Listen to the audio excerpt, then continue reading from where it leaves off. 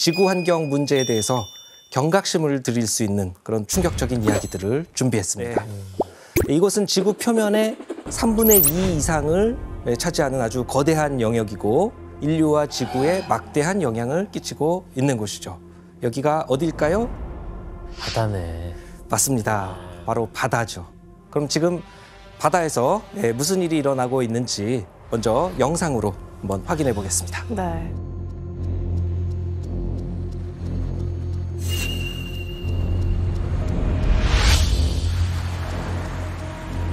어머머, 너무 여기 아름다운데요?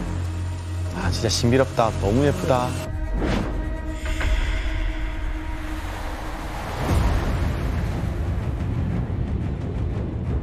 아 뭐야? 바다 아니구나. 어, 불가사리도 죽어 있어. 그게 무덤 같은데? 아, 시커먼네요, 진짜. 어머, 어머. 뭐야? 여기 어디예요? 우와 뭐야? 이거 쓰레기 아. 어떻게 이렇게 파동이니까 쓰레기 파동이고. 아, 저러면 살 수가 없지, 바다에서. 그럼 저런 바다가 있다고요? 네 진짜 그런 바다가 있더라고요. 와, 저 사이에 또 물고기들이 있어. 그렇죠. 어떻게 저 물고기들은 어떻게 살아?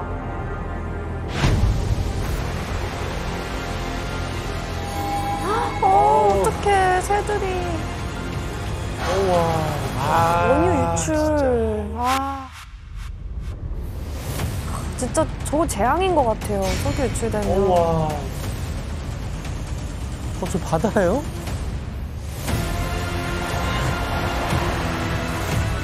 안 돼, 먹으면 안 돼.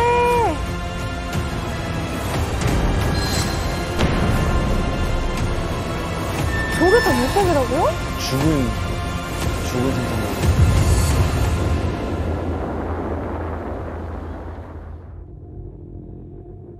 참혹하네요. 와 심각하죠. 항상 우리가 좀 아름답게 생각했던 바다인데 저렇게 참혹한 광경을 보니까 너무 마음이 아픈 것 같아요. 맞아요. 진짜 이게 바다 아닐까 생각하기도 해요. 예, 현재 바다가 이렇게 인류 역사상 유례가 없을 정도로 이런 최악의 상황들을 맞이하고 있는데요. 또 여기에 그 지난 시간에 소개한 그런 기후 위기 이런 것들이 겹치면서 지금 이대로 가다가는 바다 환경이 완전히 바닷속에 사는 생태계까지 다 붕괴될 그런 위기에 놓여 있는 중이죠. 음, 뭐 줄리안 씨랑 마이클 씨는 바다 오염 이 정도로 심각하다는 거 좀 알고 계셨나요? 어, 제가 사실 이제 그 유럽연합 이제 기후행동 친선대사로서 활동하고 있는데 그래서 이제 유럽 대한 소식 많이 좀 접하게 되거든요. 근데 지금 유럽에 있는 주변 바다가 한 85% 정도 오염 바다로 분류될 정도로 엄청 심각하다고 하는데 그 중에 특히 이제 발트해 쪽에서 잡힌 물고기들이 거기서 디옥신 같은 발암 물질들이 이제 검출된 정도라고 하더라고요. 그거 디옥신 1급 발암 물질. 그니까요, 일군 발암 물질. 예, 심지어 2023년 현재 최소 700여 곳 이상의 예, 그 많은 곳에 그 곳곳의 바다가 생명이 살아갈 수 없는 예, 그런 죽음의 바다라는 그런 진단도 받았습니다. 죽음의 바다, 이른바 dead zone이 빠르게 늘어가고 있습니다. 예, 수십 년 안에 바다 생물의 87% 정도가 다 멸종할 것이다. 수십 년 안에요? 어, 아니, 저렇게 새빨갛게. 왜 잡아 왜? 와, 나 진짜 미치겠네. 어떡해, 어떡해. 어, 뭐야. 어, 어떡해, 새들이. 아, 무섭다, 무서워. 해양 생태계 붕괴로 인해서 인류의 멸종까지 이어질 수 있다는 그런 아주 위험한 상황을 뜻하는 것이죠. 전 세계를 경악케 하는 또 충격적인 소식이 전해지게 됩니다. 태평양 한가운데서 발견했던 거는 끝이 보이지 않는 어,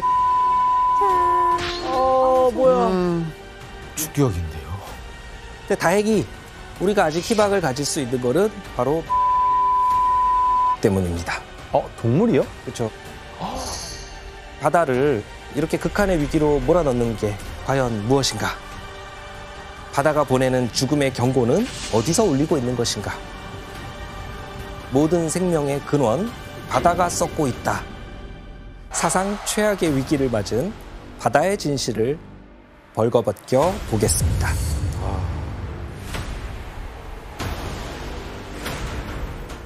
교수님, 그러면 오늘 첫 번째로 떠나게 될 여행지 어디일까요?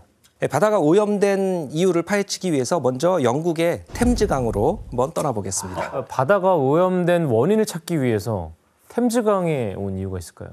네, 템즈강은 오랫동안 이제 연어를 비롯해서 뭐 송어, 농어 등등 여러 물고기들이 잡힐 만큼 예, 어종이 풍부하고 깨끗한 그런 강이었죠.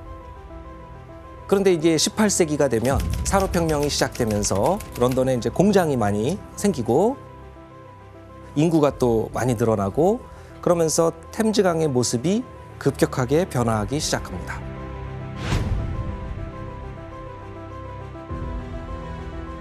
그러던 1858년 예, 템즈강에는 런던 사람들을 깜짝 놀라게 한 그런 사건이 발생했는데요. 이제 어떤 일이 그때 벌어졌는지 당시 템즈강을 표현한 만평이 있습니다. 조 잠깐만.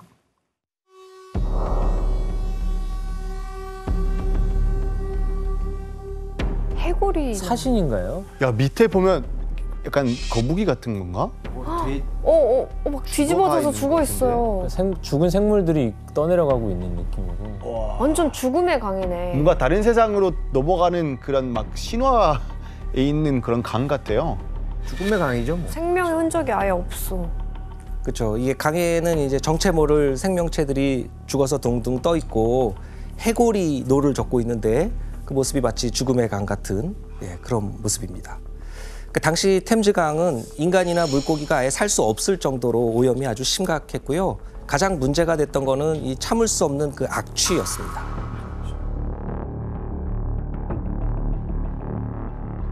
네, 냄새가 얼마나 심했는지 이 시민들이 도저히 생활할 수가 없으니까 아, 상당수가 런던을 다 빠져나갈 정도였습니다. 그 템즈 강변에 있는 영국의 그 의회도 임시 폐쇄됐었는데 회의를 할 때는 어떻게든 이 악취를 어, 줄여야 되니까 이 창문 틈새를 천으로 다 막아놓고 이렇게 회의를 했었다고 합니다.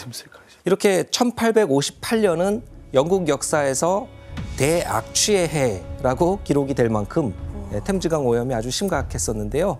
그 원인이 도대체 무엇이었을까요? 폐수 때문에. 음, 그때 산업혁명이 있었으니까. 예, 맞아요. 문제가 됐던 게 수많은 공장에서 예, 아무런 정화 시설 이런 거 없이 그대로 강에다가 방류했던 이 산업 폐수들. 예, 이게 이제 큰 문제였고요. 또 이제 인구가 급격하게 늘어나니까 이 도시에서 흘러드는 그 하수, 생활 폐수. 예, 생활 폐수 이런 것들도 골칫거리였습니다.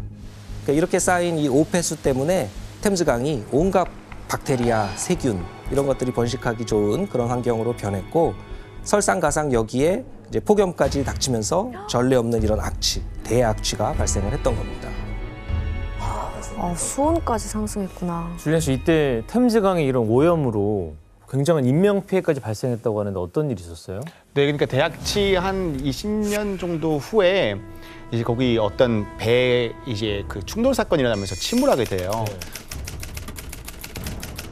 그런데 그때는 한 승객 800명 중에 600명 정도 사망했는데 아니 먼 바다도 아니고 가까운 강에서 이렇게 많은 사망자 수 일어나는 게 도대체 원인이 뭘까라고 좀 이해하잖아요. 뭐야?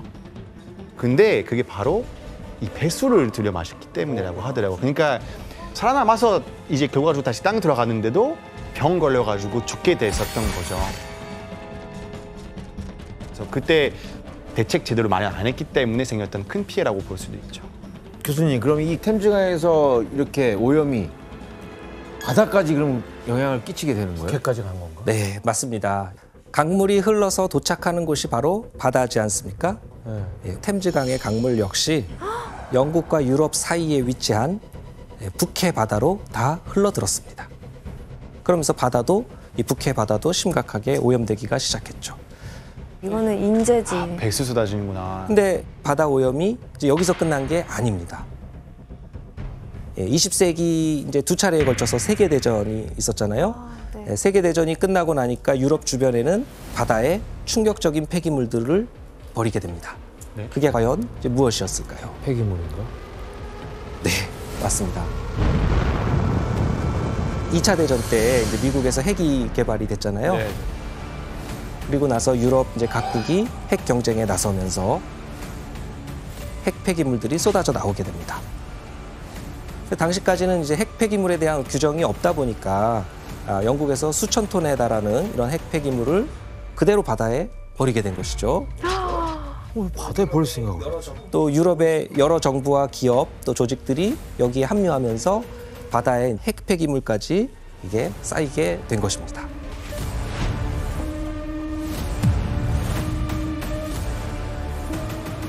마이크 씨, 이때 바다에 버려진 게 핵 폐기물 말고 또 뭐가 있어요? 세계 전쟁이 끝난 다음에 이 남아 있던 뭐 무기, 뭐 총, 탱 같은 거 엄청 많이 남아 있었잖아요. 결국에는 그냥 바다에 버리게 되었습니다.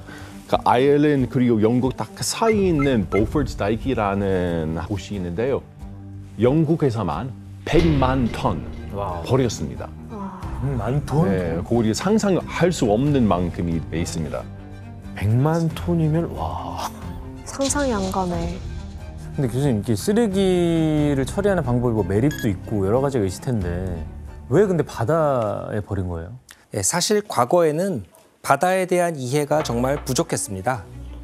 바다가 워낙 넓고 깊어서 그 연구하는 것이 쉽지 않았기 때문인데요. 모든 자연과학 중에서 가장 늦게 출발한 자연과학이 바로 해양학입니다. 아, 예, 그래서 현재까지도 이제 과학자들은 인류가 어떤 면에서는 우주보다도 바다를 더 모른다고 이야기할 정도로 바다는 여전히 미지의 세계로 상당 부분 남겨둔 것이죠. 하지만 해양과학이 본격적으로 연구되면서 바다에 대한 놀라운 사실들이 하나둘씩 밝혀지기 시작했습니다.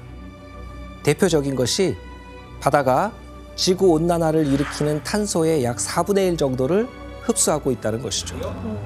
바다가 만약 이런 기능을 하지 않았다면 지구는 지금보다도 훨씬 더 뜨겁고 기후 위기는 더 심각하게 인류를 위협했을 것입니다. 그리고 바다가 어, 산소를 또 만들어내고 있습니다. 바다에서 산소가 나오죠. 전체 지구에서 아마존 열대우림이 만든 산소는 약 20% 정도에 달한다고 알려져 있습니다. 그렇다면 바다는 얼마만큼의 산소를 만들어낼까요? 80%네요. 40%? 절반 이상? 맞습니다. 네. 네, 바다가 만들어내는 산소는 지구에 있는 산소의 최소 50% 이상이라고 추정되고 있습니다. 와. 지금 우리가 숨쉬는 이 산소의 반 이상은 바다에서? 바다에서부터 왔다. 할 때마다 바다에 되게 감사해야겠네요. 어, 맞습니다. 아니 그럼 바다가 진짜 지구의 허파인 거네요. 그렇죠. 진정한 지구의 허파는 사실 바다였던 것이죠. 바다는 이렇게 산소와 함께 다양한 먹거리까지 제공을 하면서 인류 생존에 반드시 필요한 곳이 되었습니다.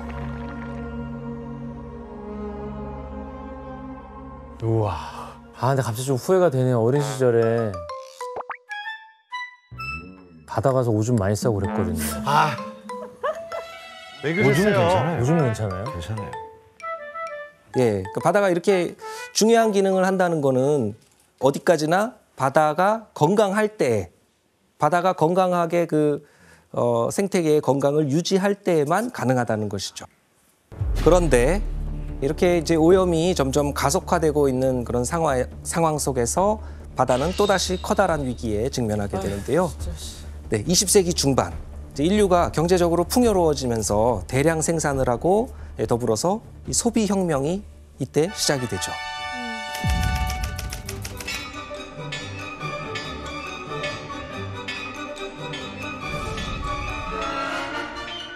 아 공장 대량 생산의 시대. 지금 뭐 소비 문화가 그죠, 어마어마하게 포드. 발달했잖아요. Modern Times 아니에요? 모던. 맞아요. Modern Times 진짜. 뭐 그때는 환경 뭐 걱정이나 생각 아예 없었잖아요. 그렇죠. 근데 공장은 진짜 이때는 혁신이었죠. 아 혁신이었죠 완전. 그쵸 컨베이어 벨트 나오고 자동차를 비롯해서 각종 전자제품과 생필품 또 음식까지 이 모든 게 공장에서 대량으로 만들어졌고 각종 광고가 소비를 점점 부추기면서 사람들은 이전보다 손쉽게 소비하기 시작했습니다. 그치 이런 마트는 옛날에 없었으니까. 그냥 계속 쓰고 버리고 쓰고 버리고 하는 거죠. 그러면서 예상치 못한 문제가 골칫거리로 떠오르는데 우리가 바다를 더 위협하고 바다를 황폐하게 만드는 아, 그런 또 새로운 물건이 등장했다는 건데요. 그럼 이제 여기서 문제 드리겠습니다. 예. 그런 물건이 등장했다고? 네. 이 사진은 이제 1955년 미국의 한 잡지에 실린 광고인데요. 사람들이 하늘로 이렇게 막 던지고 있는 물품들. 이게 대부분 무엇으로 만든 물건일까요? 아 정답 네, 규현 씨. 돈으로 만든 거죠. 아 돈으로.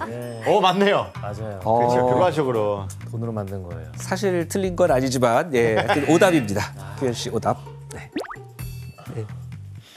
뭐 무조건 다 일회용 같은 것이 보이는데 제대로 얘기해 주셔야 돼요. 아 오케이 자, 하나 고르세요. 자 자, 네. 저, 오케이 정답 네, 마이클 씨. 플라스틱입니다. 네, 정답입니다. 네. 이 사진은 1955년도 라이프 매거진이라는 그런 잡지에 실렸던 광고인데요. 한 미국인 가족이 플라스틱하고 이제 각종 일회용품들을 이렇게 던져버리면서 만세를 외치는 그런 모습입니다. 광고 카피가 뭐였냐면 쓰고 던져버리는 삶. 와. 아, 무책임하다. 예. 그러니까 쉽게 쓰고 쉽게 버릴 수 있다. 뭐 네. 이런 일회용 거잖아요. 일회용이다. 그렇죠. 일회용품을 이제 사용하면은 시간과 노동력을 절약할 수 있다. 이런 거를 어필하는 광고죠. 되게 유명한 드라마 있잖아요. 미국 것그 매드맨인가? 매드맨? 거기서 이제 딱 이제 피크닉 하고 나서 쓰레기 이렇게 훅 이렇게 버린 장면 있어요. 어디다가요? 예, 그냥 자연에다가 그리고 버리고 가요, 그냥. 저 그거 보고 되게 충격 먹었는데 그 당시 진짜 사람들이 약간 뭐 별 생각 없었나 근데 봐요. 왜냐면 저런 포스터 운동하면 사람들 다 따라하거든요. 이렇게. 그니까요. 이렇게 이제 쓰고 던져버리는 일회용 이런 라이프 스타일을 가능하게 만들었던 중요한 소재가 바로 플라스틱이었죠.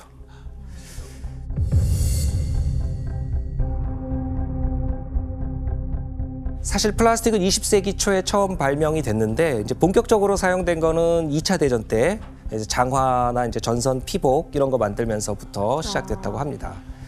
그 즈음부터 이제 비닐, 페트병 그리고 이제 음식 포장 등에 사용되는 다양한 플라스틱 재료들이 줄줄이 발명이 되면서 1950년대가 되면은 플라스틱 전성기에 이르게 되죠.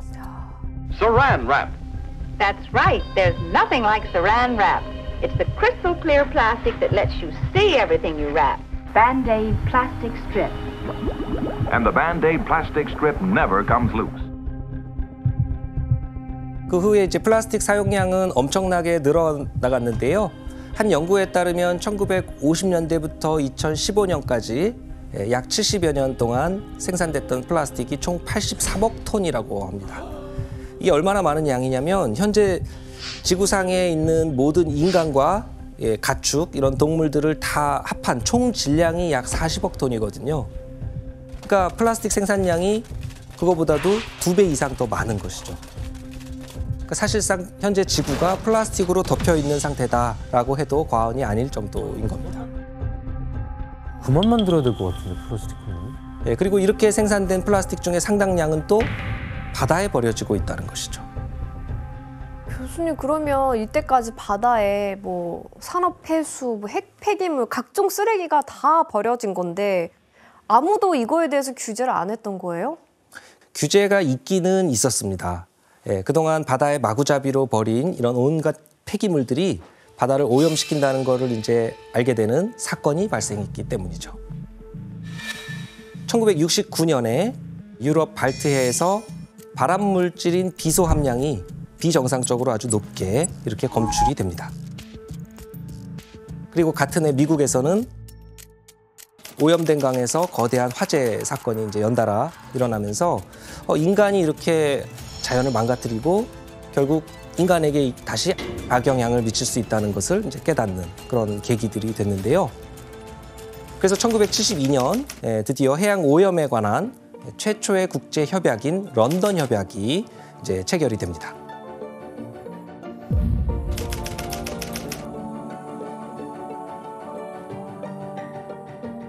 체약 당사국은 개별적으로 또한 집단적으로 해양 환경의 모든 오염원에 대한 효과적인 규제를 촉진하여야 하며 해양 오염을 방지하기 위하여 실행 가능한 모든 조치를 취할 것을 서약한다.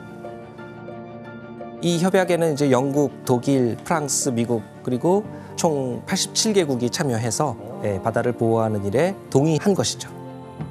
이제 드디어 해양 오염을 막아보자 음. 이런 결의를 다진 거네요. 첫 발걸음 같은 느낌 좀 예. 들어요. 특히 이 협약에서는 이제 쓰레기뿐만 아니라 그 유독성이 강한 수은, 또 카드뮴, 예, 원유, 그리고 핵 폐기물 이런 것들 다 바다에 버릴 수 없도록 그렇게 했습니다. 아 다행이다 그래도. 하지만 이 협약은 제대로 지켜지지 않았습니다. 그 이유가 무엇이었을까요? 네, 바로 강제성이 없었기 때문입니다. 아 강제성. 예. 그러니까 이 협약의 문제가 강제성이 없었기 때문에 어떤 나라가 규정을 위반해서 바다에 유독성 물질, 뭐 폐기물 이런 거 버려도 예, 국제적으로 이거를 어떻게 처벌해야 될지 폐기물을 버렸을 때 그런 규정 같은 것들이 마련돼 있지 않으니까 그 선언문에 불과했던 것이죠. 그러니까 도덕적으로 우리 그렇게 합시다. 뭐 이 정도. 네. 그래서 런던 협약 이후에도 바다를 쓰레기 처리장으로 이용하는 일이 줄지가 않았고 결국 1996년에 이전보다 훨씬 강화된 이 런던 의정서가 이제 새롭게 채택됐지만 여전히 이제 전 세계 여러 나라에서 폐수와 폐기물 이런 것들이 바다로 계속 버려지고 있었습니다. 아니 얼마 전까지 버렸다는 거 아니에요? 어, 바다에 버릴 생각을 했지. 네. 이렇게 누구도 바다 오염에 대한 책임을 지지 않고 무책임하게 바다를 악용하는 사이에 전 세계를 경악해 하는 또 충격적인 소식이 전해지게 됩니다. 아, 나, 그- 나 그만 충격받고 싶은데. 이렇게 누구도 바다 오염에 대한 책임을 지지 않고 무책임하게 바다를 악용하는 사이에 전 세계를 경악해 하는 또 충격적인 소식이 전해지게 됩니다. 아, 나, 그- 나 그만 충격받고 싶은데. 때는 런던 의정서를 맺은 지 1년이 지났던 1997년 사건은 미국 LA에서 하와이까지 가는 국제 요트 경주에서 발생합니다. 무슨 일이 있었죠? 경주에 참여한 이 찰스 무어라는 이름의 선장이 있었는데요. 찰스 무어 선장이 태평양을 항해하던 중에 좀 이상한 일을 겪게 됩니다. 그러니까 영화 속의 한 장면처럼 갑자기 바람이 사라지고 바다의 흐름도 멈추면서 요트가 멈춰버린 거죠. 자, 여기서 퀴즈를 하나 드리겠습니다. 찰스 무어 선장은 태평양 한가운데서 충격적인 것을 발견했습니다. 그가 발견한 것은 무엇일까요? 야 이건 너무 어려운데? 충격한 거. 아닌데 무중력도 아닌데. 바람도 없어지고 예, 물살도 없어졌다는 거예요? 맞아요. 왜? 그게 질문이에요. 어! 정답! 지원 씨, 고래 시체에 떠오른 거야. 요트가. 고래 시체가 죽어서 물 위에 떴는데 요트가 그 위에 떠서 갑자기 가지도 않고 대형 고래 위에. 대형 고래 위에. 예, 지원 씨 상상력 정말 좋은데요. 예, 오답입니다. 네. 자, 정답입니다. 네, 마이클 씨, 대왕 해초요. 해초? 해초. 해초. 약간 엄청 약- 이렇게 완전 두껍고 긴 약간 그거 있잖아요. 해초에 걸린 거예요? 걸린 거예요. 이렇게 보고. 마이클 씨 아, 저 오답입니다. 알것 같아요. 아니야, 다 몰라. 아, 저 알아요. 줄리안 씨. 그러니까 항상 배 같은 사건 보면 엄청 큰 거대한 오징어 같은 문어 같은 거딱 아니에요. 딱 잡았죠. 저 고래랑 똑같은 얘기잖아요, 지금. 아니요, 왜냐면 이게 잡았잖아요. 네, 줄리안 씨 오답입니다. 정답. 네, 해석 씨. 대왕 오징어도 아니고 대왕 쓰레기. 쓰레기가 완전 이제 섬이 돼버린 거예요. 예? 섬? 아, 네, 해석 씨 정답입니다. 어, 이- 이 네, 정답이에요? 그러니까, 예, 충격인데요. 찰스 부어 선장이 태평양 한가운데서 발견했던 거는 끝이 보이지 않는 쓰레기로 된 섬이었습니다.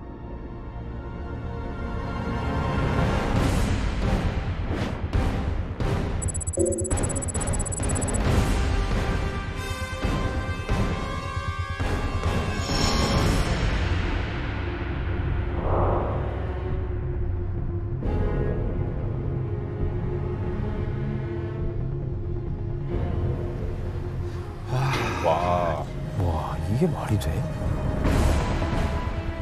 이건 쓰레기 섬을 비롯해서 연안 바다의 표면에 있는 부유 쓰레기들의 모습입니다. 바다 표면에만 쓰레기가 가득 덮여 있는 게 아니라 이 수면 아래까지도 육안으로는 잘 구별하기 어려운 작은 쓰레기들까지 다 채워져 있었던 것이죠. 저걸 누가 치울까? 와. 당시 찰스 부어 선장이 쓰레기 섬에 대해서 남긴 글이 있는데요. 예, 한번 규현 씨가 읽어주시겠어요? 육지로부터 몇 천 킬로미터가 떨어진 곳에 쓰레기가 있다는 것은 달에 쓰레기가 있는 거나 비슷한 이야기였다. 우리는 며칠 동안 태평양 한가운데서 무서우리만큼 고요한 수면 위를 모터에 의지해 지나갔다. 쓰레기들은 그동안에도 계속해서 그 자리에 있었다. 망망대. 찰스 부어 선장은 자신이 목격한 이 쓰레기 지대를 세상에 이제 알렸는데요. 그때서야 사람들이 전 세계에서 이제 바다 오염의 심각성을 깨닫고 충격에 빠지게 된 것이죠. 아니 어떻게 이게 가능해요? 거기 얼마나 바다 있는지 한가운데까지 쓰레기가 모였다는 거잖아요. 그러니까 근데 어떻게 저렇게 바다 한가운데 저렇게 모여 있죠 쓰레기들이? 예, 이 바닷물이라는 거는 계속 정체돼 있는 게 아니라 이제 위에 바람도 불고 바닷물도 다 서로 다른 물들이어서 이게 무게도 다르고 이러다 보면 한쪽으로 계속해서 흘러갑니다. 이게 흘러가는 걸 우리가 해류라고 부르죠. 예, 일종의 바닷길이 있는 건데요. 이런 해류들로 둘러싸여 있는 이 가운데는 해류가 없잖아요. 예, 그리고 여기는 바닷물이 정체돼 있고 거기에 바닷물들이 자꾸 주변에서 모여드는 겁니다. 그래서 가운데에 쌓이는구나. 네, 그래서 해류로 둘러싸인 영역에 이렇게 다 모여들다 보면은 다른 곳으로 빠져나가지 못하면서 축적이 되니까 거대한 쓰레기 섬을 만든 거죠.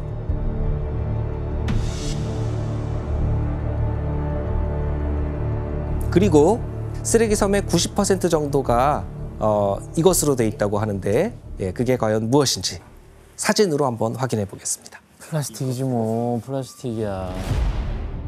역시 플라스틱이지. 80억 톤이 있는데.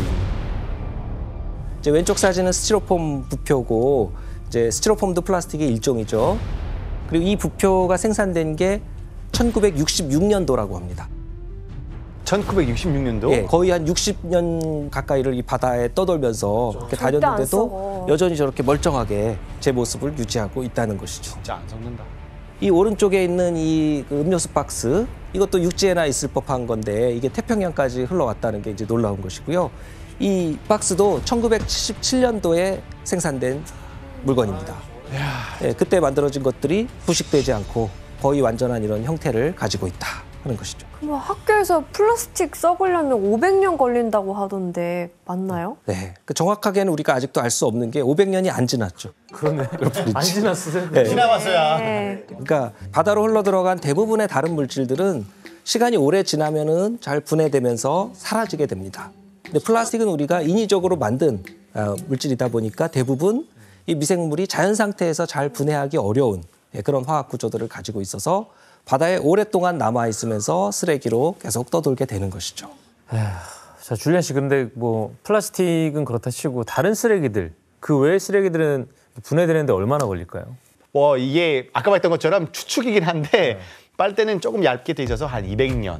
그러니까 최소 단위로 가도 200년. 스티로폼 컵은 뭐 50년 된다는 얘기도 있고 기저귀면 얼마나 정도 될 것 같으세요? 기저귀요? 기저귀. 기저귀는 그래도 좀 짧게 걸리지 않을까요? 기저귀는 뭐, 뭐 태우면 되는 거 아니야? 데우지 않았다면 어떻게 돼요? 모르겠네요. 아 450년 정도 걸린다고 해요. 기저귀가 플라스틱이에요? 예, 플라스틱 많이 들어가 있죠, 사실은. 그렇구나. 예, 그리고 이게 분해되는 것이 완전 썩는 거 아니기 때문에 결과적으로 눈에 안 보일 뿐이지만 어디선가 남아있는 플라스틱의 아직까지나 이제 평생 있을 수도 있다. 계속 영원히 남을 거라는 얘기도 있죠. 끔찍하네요.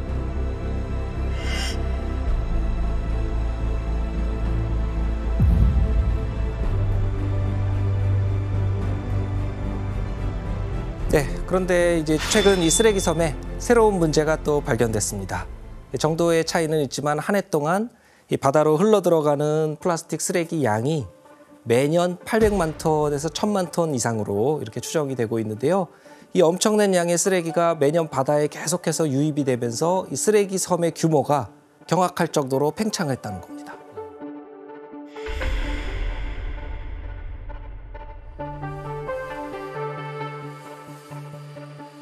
처음 발견됐을 당시는 이 쓰레기 섬이 우리 대한민국 정도 크기로 이렇게 추정이 됐었는데요.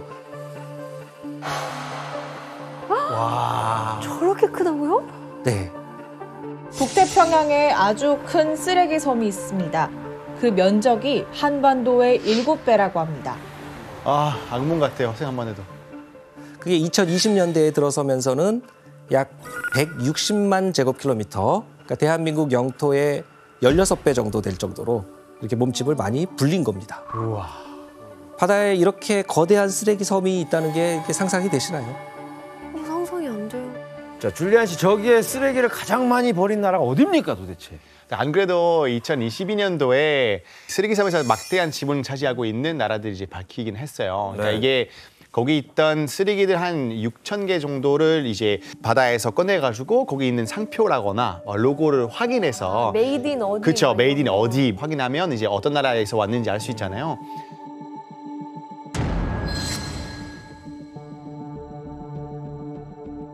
거기 쓰레기 섬에서 34%의 쓰레기 이제 정도 차지한 1위는 바로 일본이었고요. 2위는 중국은 32% 정도의 쓰레기 차지했다고 하는데 3위는 바로 대한민국이었다고 하는데 대한민국 차지한 쓰레기량이 한 10% 정도였다고 하더라고요. 어마어마하게 된 거죠.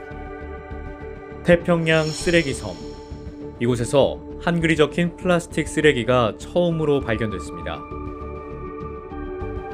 인구가 그렇게 많지도 않으면서. 우리 잘못인데 뭐. 그런데 이 거대 쓰레기 섬이 태평양에만 있는 게 아니라 전 세계 바다에 다 존재하고 있죠. 이 태평양의 쓰레기 섬처럼 다른 해류로 둘러싸인 오대양 이곳 모두가 플라스틱 쓰레기의 핫스팟이 된 것입니다. 너무 심각한데요? 이제 깨끗한 바다가 없네요. 네, 심지어 어, 인류의 손이 잘 닿기 어려운 심해까지도 이 쓰레기가 발견되고 있습니다. 심해까지. 지난 2021년도에 그 전 세계에서 가장 깊은 곳이라고 하는 이 마리아나 해구 여기를 탐사한 적이 있었는데요. 이 곳에서도 쓰레기가 발견된 겁니다.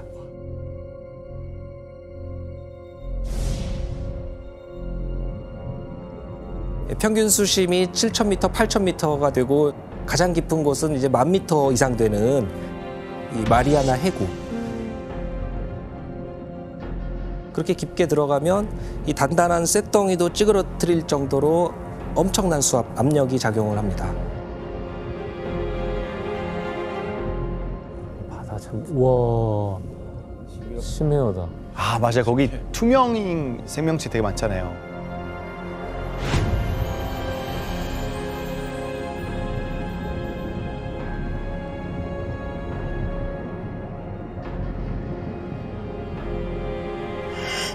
응?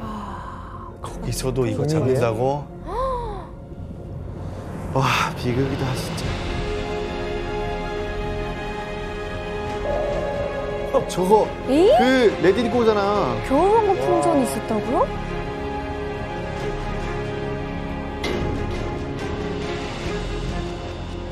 마리아나 해구가 이 정도니까 다른 바다는 어떻겠습니까? 더 심하겠죠. 네, 더 이상 지구의 바다에서는 이 청정 해역이라는 것을 찾기가 어렵고 이미 모든 바다가 네, 플라스틱으로 다 오염돼 있는 상태다 이렇게 생각할 수가 있는 겁니다. 줄리안 씨, 네. 그 바다 쓰레기들 때문에 뭐 특별히 시작하신 게 있어요? 아, 네, 저도 사실은 이런 문제에 있는 것 좀 알게 되고 뭐 조금이라도 내가 할 수 있는 게 없을까 해가지고 그 바다 쓰레기 주우러 갔었거든요. 막 요새 plogging이라고도 많이 하잖아요. 쓰레기 줍는 게. 그래서 해양 쓰레기 주우러 많이 가는데 진짜 이게 신기한 게 어떤 날 뭐 무의도 가서 주웠거든요. 진짜 많이 주워가지고 아 다음에 가면 그래도 깨끗하겠다 하는데 진짜로 쓰레기가 실망시키지 않은 게 없겠다 하면 항상 다시 있어요. 그러니까 계속해서 다시 이제 바다에서 밀려오면서 다시 생기는데 정말 이제 해변들이 몸살이 앓고 있다라고 이제 말할 정도죠. 야, 이거는 진짜 너무 심각한데. 네, 그리고 이제 과테말라도 쓰레기 매립지가 생기면서 매립지에서 강으로 넘어가게 되면서 바다로 다시 가게 되고 그게 해변으로 오게 되는 그런 순환이 되는 거죠. It's really unbelievable. In 17 years, I never saw a situation like this. We are in central Kuta, and the amount of plastic is unreal.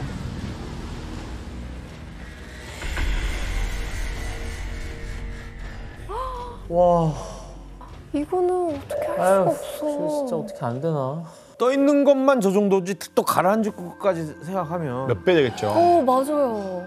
바다 밑으로 가라앉잖아요. 네. 그러면 이제 썩지 않고 오랫동안 바다에 이렇게 떠다니는 이런 플라스틱 쓰레기들이 우리 지구 환경과 바다 생태계에 이제 어떤 위협이 될까요? 한숨 많이 쉬게 되네.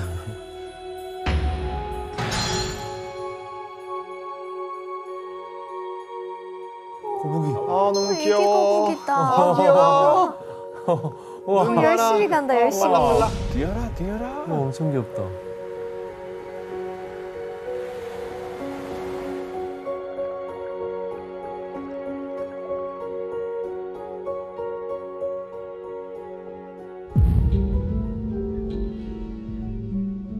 그래? 박혔어?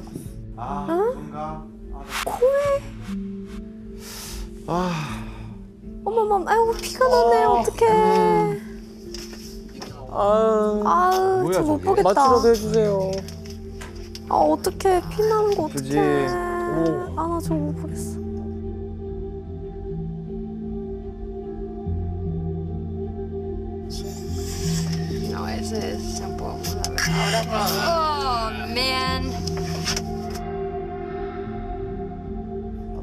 아, 뭐야? 허우. 에? 뭐야, 저게? 빨대? 어떻게 빨대가 거기 들어? 야 이거는 진짜 너무 심각한데. 저기 저기 또 어떻게 들어갔지? 아, 네. 다행히 영상 속 거북이는 운이 좋아서 발견돼서 치료도 받고 이렇게 어, 해결이 됐지만 한 연구에 따르면은 전 세계 바다 거북의 절반 이상이 예, 플라스틱을 몸속에 가지고 있다고 합니다. 그럼 이제 제때 구조되지 못한 거북이들이 어떻게 되는지 예, 사진을 한번 보실까요? 이게 뭐예요? 저거 이게 뭐야? 뭐예요? 뭐야 오른쪽? 어, 어떻게 된 거예요 지금? 예, 거북이들이 이렇게 바다를 헤엄치다가 플라스틱 그물에 이렇게 걸리게 되면은 어, 너무 불쌍해. 저런 식으로 죽음을 맞이하기도 하고 그리고 플라스틱 끈인데 그 끈에 이제 갇혀서 기형적으로 성장을 하기도 하는 것이죠. 얼마나 아플까. 이렇게 무분별하게 에, 흩어진 플라스틱들이 해양 생물들에게는 마치 지뢰 같은 것인데요. 또 다른 동물의 피해 사진 한번 보겠습니다. 아이고 물개 이런 거예요. 네? 물개인데요. 아, 아니 뭐 사- 사용이라도 된 것처럼 지금 막 목에 딱 걸려가지고. 너무 슬퍼 보여. 물개들을 이렇게 바다를 헤엄치다가 플라스틱 끈에 이렇게 걸리면은 여기를 빠져나오지를 못하니까 예, 그러니까 살갗이 이렇게 파고드는 이런 고통 속에서 목숨을 잃어가는 그런 경우가 많다고 합니다. 와 진짜 동물들 무슨 죄야. 그리고 또 특히 플라스틱으로 인해서 매년 100만 마리 이상 죽는 그런 해양 생물도 있는데요. 매년이요? 100만 마리? 매년? 바다새 아니에요? 예, 맞아요. 바다새입니다. 바다새? 예, 바다새.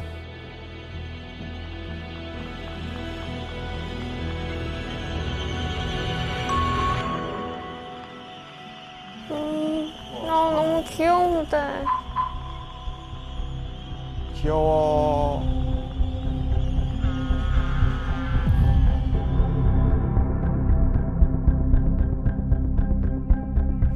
쓰레기.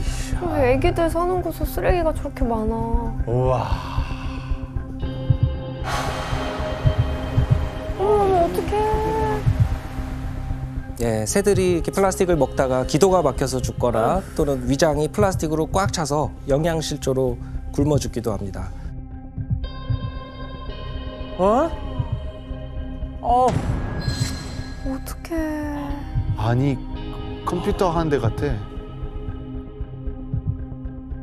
말도 안 된다. 뭐가? 라이터. 아 말도 안 돼요 진짜.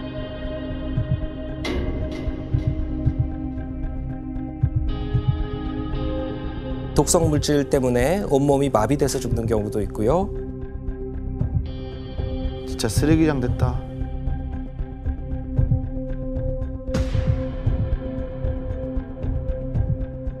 알바트로스라 너무 미안하다 진짜. 너무 안쓰러워요, 너무 진짜. 너무 참담해요. 왜왜 왜 플라스틱을 먹이는 거예요 근데? 예, 왜냐하면 이게 플라스틱이 이렇게 바다에 떠다니다가 예, 파도나 모래 이런 데 이제 깎이고 부서지고 잘게 쪼개지죠. 예, 그 과정에서 이제 플라스틱의 냄새가 나는데 이 바다새의 주요 먹이인 크릴새우와 좀 비슷한 냄새가 난다고 합니다. 이제 그런 바다새들이 이걸 먹이로 오인해 가지고 예, 그래서 이거를 먹는 거죠. 그러다 보니까 바다에 사는 새들의 90% 정도가 플라스틱을 먹고 있다는 그런 연구도 결과가 나오기도 했죠. 그러니까 사실 알바트로스는 한 1, 2년 사이에 알 한 개밖에 안 나는 애지둥지로 기르는 완전 이제 모성에 강한 동물이라고 하더라고요. 그래서 이제 새끼를 위해서 100km 이상 가는 거리 가가지고 먹이를 잡고 다시 갖다 주는 거 되지만 새끼를 위해서 이렇게 멀리까지 갔는데 결과적으로 새끼의 목숨까지 빼앗게 되는 그런 비극이 되게 되는 거죠. 이렇게 바다를 터전으로 살아가는 해양 생물들 중에서 무려 90%가 플라스틱 쓰레기로 인해서 고통받거나 목숨을 위협받고 있는 상태라는 겁니다. 그리고 플라스틱 쓰레기가 이 지구 환경과 바다에 미치는 또 다른 위협은 바로 미세 플라스틱의 공격 때문인데요. 아 미세 플라스틱.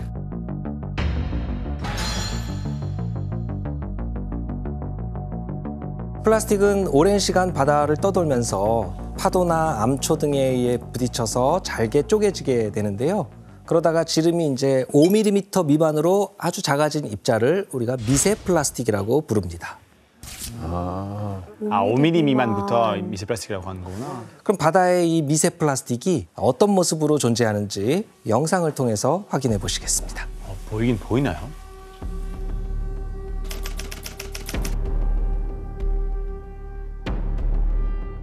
거품 같은데요? 저거. 아, 저 작은 쓰레기들이구나. 아, 다 부서져 나온 플라스틱인가 보다. 아 저거 안 없어질 것 같은데? 아, 이거 쓰레기 잡고 있는 거구나, 이거. 와. 어, 저 작은 조각들이 다 플라스틱인 거잖아요. 어, 근데 저거는 건져내기도 힘들 것 같아. 아유. 어떡해. 아 플라스틱.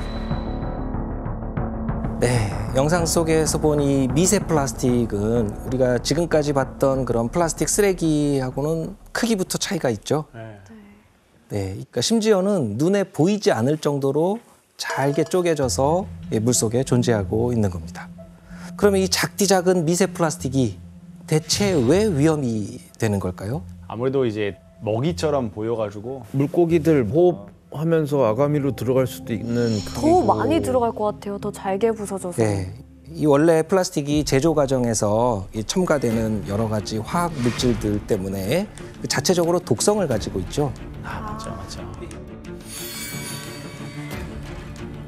근데 이 분해되고 쪼개지고 하는 과정에서 바다의 오염 물질들까지 흡수를 하니까 이 독성이 더 강력해지는 겁니다. 와. 한마디로 이 독을 품은 이 작은 물질이 무수히 바다에 막 떠 있는 그런 셈이 된 거죠. 그럼 바다에 플라스틱이 엄청 많이 쌓여 있는 상태인데 그럼 미세 플라스틱도 그만큼 많이 퍼져 있는 건가요? 네, 때마침 독일의 어, 한 연구소에서 그 궁금증을 풀 어, 그런 연구를 최근에 진행을 했습니다. 그래서 이제 전 세계 바다에 만 2천여 개 지점을 다 정해가지고 거기에 미세 플라스틱을 포함한 예, 플라스틱 오염 현황을 통계낸 겁니다.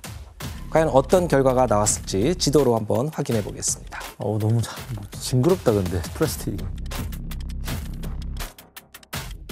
뭐야? 오, 저렇게 많이 퍼졌어? 이 지도에 이제 초록색, 녹색으로 돼 있는 점들이 있는데 미세 플라스틱을 포함한 플라스틱이 발견된 지점들이고 이제 주황색으로 표시된 곳들은 그 외에 다른 쓰레기가 나타나는 곳입니다.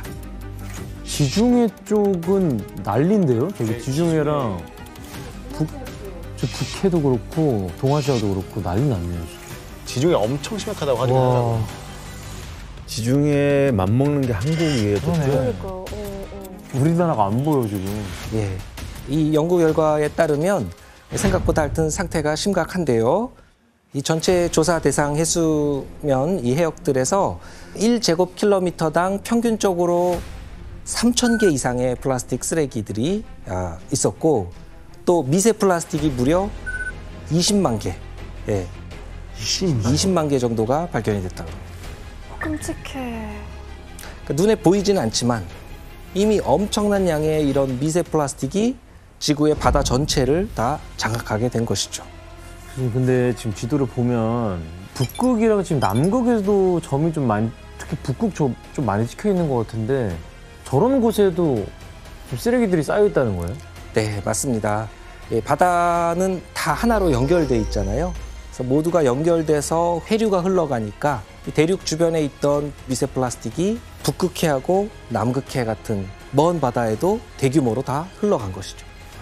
그래서 지구상에 남은 이 마지막 청정 해역이라고 우리가 알고 있던 북극과 남극의 바다도 이 미세 플라스틱 공격을 피할 수가 없었던 겁니다.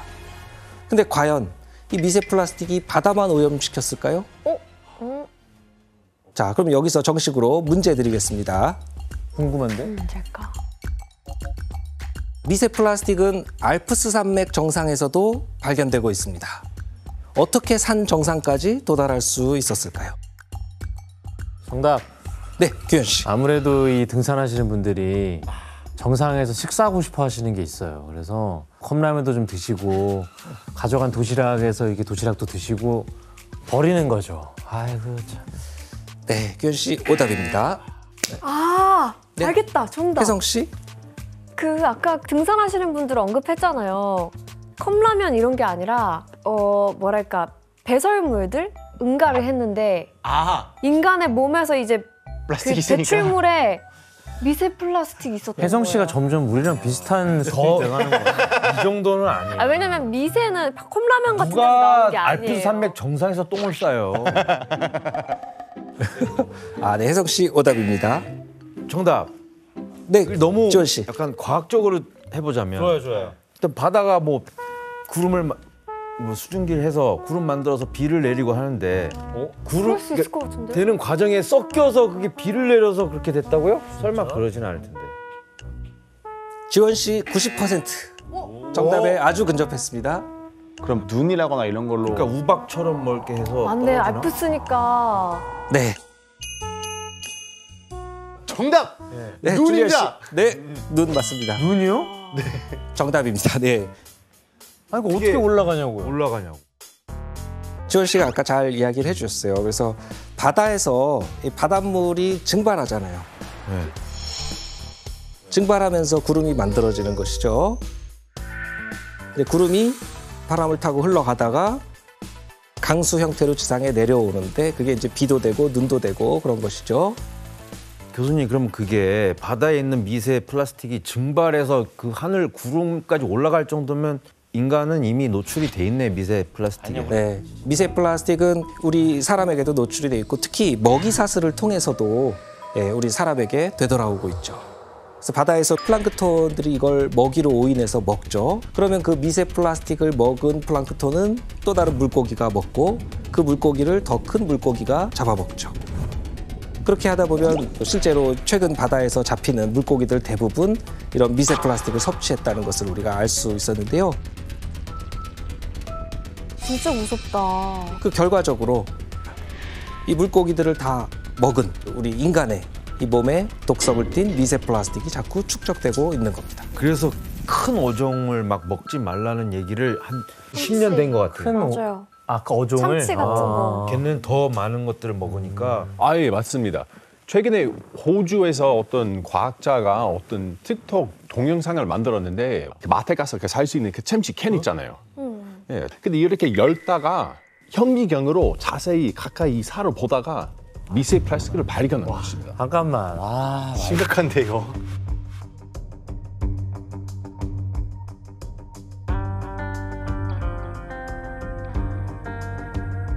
와. 그게 플라스틱이에요?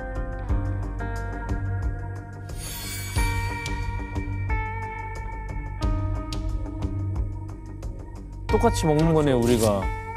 와 진짜 그러네. 우리도 플라스틱 많이 먹었겠네요 진짜 지금까지. 어떻게 되는 거예요 이거 먹으면? 이 미세 플라스틱은 강력한 독성만큼이나 인체에도 해롭죠. 워낙 작기 때문에 이 위장의 세포를 통해서도 몸에 흡수가 될 수가 있죠. 그리고 인체 내에서도 이게 자연적으로 분해되지 않기 때문에 예, 세포와 점막, 혈관을 타고 온몸을 다 돌아다닐 수가 있는 건데요. 그 과정에서 장이나 폐, 또 장기에도 직접적인 영향을 줄 수가 있다고 합니다. 아니 저도 진짜 충격적인 기사를 본 적이 있는데 인간이 매주 먹는 그 미세 플라스틱 양이 카드 있죠. 신용카드 한 장 크기를 우리가 매주 먹고 있대요. 매주? 그랬다고 하더라고요. 이런 먹이 사슬을 통해서 우리도 모르게 이렇게 먹고 있는 이런 미세 플라스틱 양이 일주일에 신용카드 한 장씩 그 정도씩 계속 먹고 있는 거죠. 이거 지금 전 국민이 아니 전 세계 사람들이 이, 이 벌거벗은 세계사 봐야 돼요 이거를. 번역 좀 해주세요. 예? 번역 좀 해주세요. 어, 유 씨.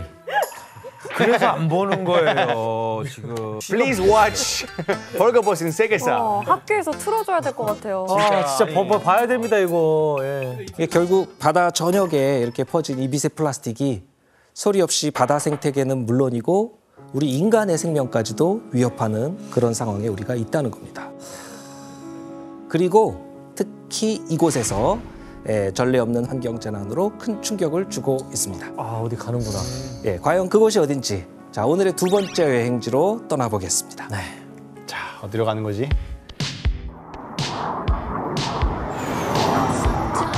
뭐 이렇게 너무 아름다운 산호초들이 가득한 이 호주에서 아, 아니잖아요. 무슨 일이 일어난 거예요? 여기서 또 하나 이 미세 플라스틱이 불러온 또 심각한 위기가 있는데 바로 바다의 산성화를 부추긴다고 합니다.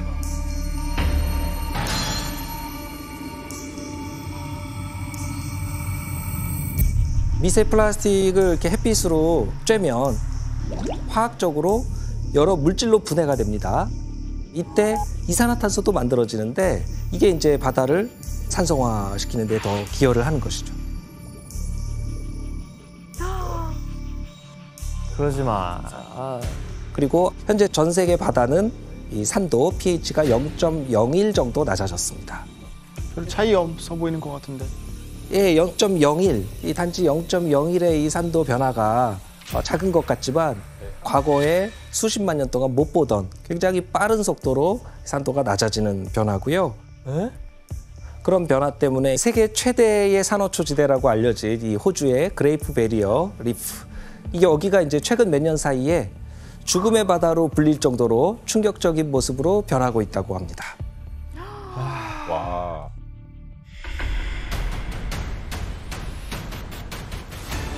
와 뭐야 진짜 그냥 뭐 동물 뼈 같은데요 산호가 같지 않고. 왜 이렇게 된 거야 또? 와.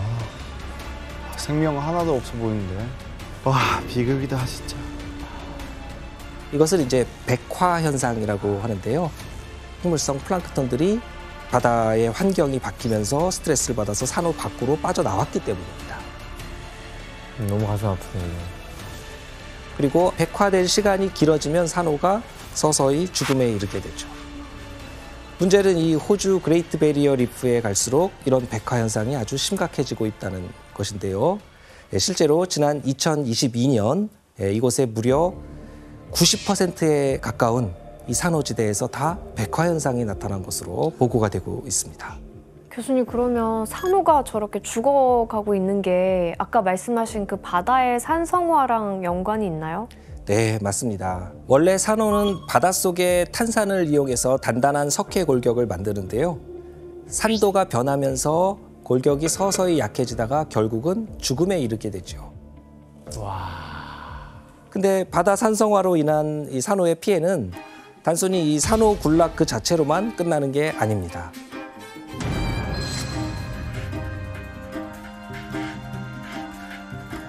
흔히 이 산호초 군락을 바다의 아파트라고 부르는데요. 전체 해양 생물의 무려 25%에 달하는 많은 해양 생물들이 여기에 살고 있는 서식지를 제공해 줍니다. 25%나 네. 생명들 거기 산다고요? 네, 바다의 아파트입니다. 진짜 아파트라는 네. 말 너무 많네요. 그래서 아파트구나. 그래서 이 대규모로 산호가 이렇게 사라진다는 거는 여기에 연계되어 있는 무수히 많은 바다 생명들이 같이 사라진다는 뜻이죠. 지상이나 바다나 부동산이 문제네요. 네, 그렇다면은 이 산호를 죽이는 거는 이 바다 산성화밖에 없을까요? 뭐 인간이 또 뭔 짓을 하겠죠, 뭐. 예, 산호는 이제 아주 민감한 생물이다 보니까 오염 물질에도 아주 취약합니다. 아유. 아 오염물질. 예, 그래서 얼마 전에 이 태국에서 바닷속 산호가 병에 걸리니까 관광 도시인 파타야 인근 해안에 비상이 걸렸는데요. 자, 그럼 정식으로 여기서 문제 드리겠습니다. 뭐 때문일까? 태국에서는 산호를 보호하기 위해서 태국의 모든 해양 국립공원을 찾는 사람들에게 이 행동을 금지했습니다. 어떤 행동일까요? 이 행동? 그냥 그거 아니에요? 정답. 네, 규현 씨. 미- 물에 들어가서 보는 이런 스포츠 레저를 금지? 아, 규현 씨 오답입니다. 정답. 네, 줄리아 씨. 그러면 일회용 컵 들고 배를 못 타게끔 해가지고 아예 거기 있는 쓰레기를 줄이기 위해서 노력했다. 아, 그것도 좋은 방법인데요. 예, 줄리아 씨 오답입니다. 하여튼 힌트는 우리가 바다에 가면 거의 대부분 사람들이 이걸 하죠. 진짜- 꼭 하는 행동입니다. 바닷가에 가면. 어, 정답. 아, 나 정답 안 했는데. 아, 예, 혜석 씨. 혹시 선크림을 못 바르게 하나요? 아, 네, 혜석 씨 정답입니다. 아 네. 맞아요. 그때 딱 얘기했을 때. 왜요? 예, 일부 선크림에서 이 산호에 해를 끼치는 화학 물질들이 다량 포함되어 있다는 것이 알려졌습니다. 맞아. 예, 그래서 물에 들어가기 전에 이 선크림 바르는 것을 아예 금지해 버린 것이죠. 근데 이런 방법들이 뭐 효과가 있었습니까?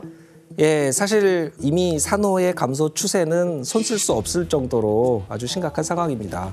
그러니까 지금 추세대로 가면은 앞으로 30년 안에 예, 전 세계 대부분의 산호는 다 사라질 것이다. 최근 산호가 급격히 사라지고 있습니다. 이대로라면 2050년에는 전 세계 산호의 10%도 채 남지 않을 것이란 경고가 나옵니다.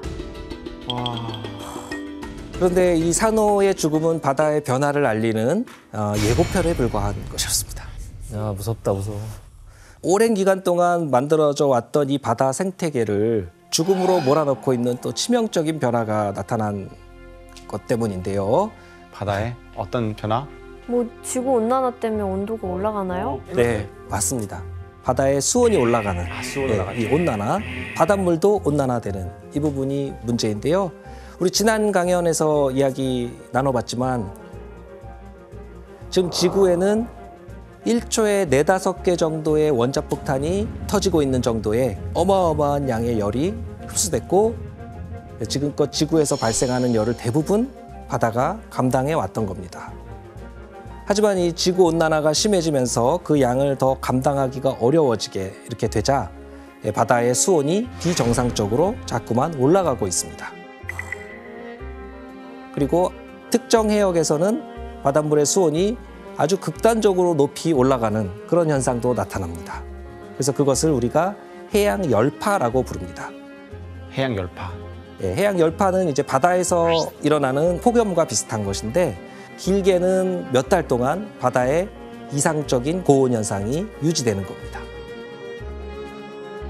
특히 이 해양 열파 현상이 심각하게 일어났던 곳이 바로 2015년 북태평양이었습니다. 뭐야 불 타고 있는데? 우와, 새빨갛네. 이 사진이 이제 2015년 5월 달에 월 평균 해수면 온도 분포를 보여주는 것인데요. 빨간색의 온도가 높아진 곳인데 일부 해역에서는 이 바다의 수온이 최대 6도까지도 올라가는 예, 그런 일들이 벌어졌습니다. 이런 바다 속에서는 무슨 일이 벌어지고 있겠습니까? 당연히 막 약간 끓겠, 끓겠는데? 물고기들은 미치죠. 생물들도 살아가기 힘들고. 맞아요. 온도에 따라 다르지만 이 2015년에 발생했던 이 해양 열파는 이 북태평양 해양 생태계를 거의 초토화시키다시피 아주 큰 피해를 주게 됩니다.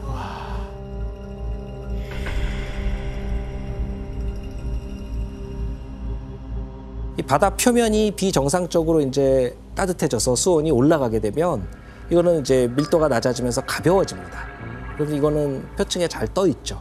그럼 이 바다 아래에 차가운 물은 무거워서 가라앉아 있는데 따뜻한 물과 차가운 물이 잘 섞이지 않는 것이죠.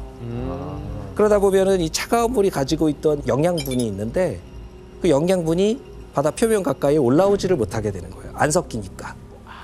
그 결과 이 바다 표면에 이 플랑크톤이나 크릴 같은 이런 먹이들이 많이 줄어들게 되니까 이걸 먹고 사는 물고기 또 그다음에 그런 동물들이 차례대로 다 죽음을 맞이하게 된 것이죠. 그런 문제가 있구나. 실제로 2015년 당시에 이 태평양 연안을 따라서 수십만 마리의 바다새와 바다 사자들이 먹이를 못 구해서 떼죽음을 당했습니다. 근데 캐나다 그 서쪽 밴쿠버 근처에 2021년 7월 달 해양 열파가 나타났습니다. 그래서 그 홍합 있잖아요. 자, 한 10억 마리까지 다 죽어버렸습니다. 물 온도가 거의 뭐 40몇 도까지 올라가지고 그래서 이 홍합 거의 삶은 것처럼. 네. 좀 그런 물이 큰 40몇 사건이었는데. 도까지 올라갔다고요? 예. 10억 말이 안 된다. 저 어떻게 그때 바로 연어도 피해 엄청 컸었거든요. 연어도 아시다시피 원래 바다에 있다가 또 강으로 올라오잖아요. 그런데 강으로 올라, 거슬러 올라온 이제 연어들 모습 보면 충격적이에요. 왜요? 일단 연어들이 화상 입어가지고 그 병에 걸려서 피부가 완전 망가져가 있어요. 네. 그래서 살이 저렇게 병이 사람 걸려. 화상이 어떡해 어떡해 아니 뜯겨 얼마나 먹- 뜨거우면 심지어 누구한테 어우와, 뜯겨 아, 뜯어 먹혔는데? 그렇죠. 아니 얼마나 뜨거우면 저렇게 된 거야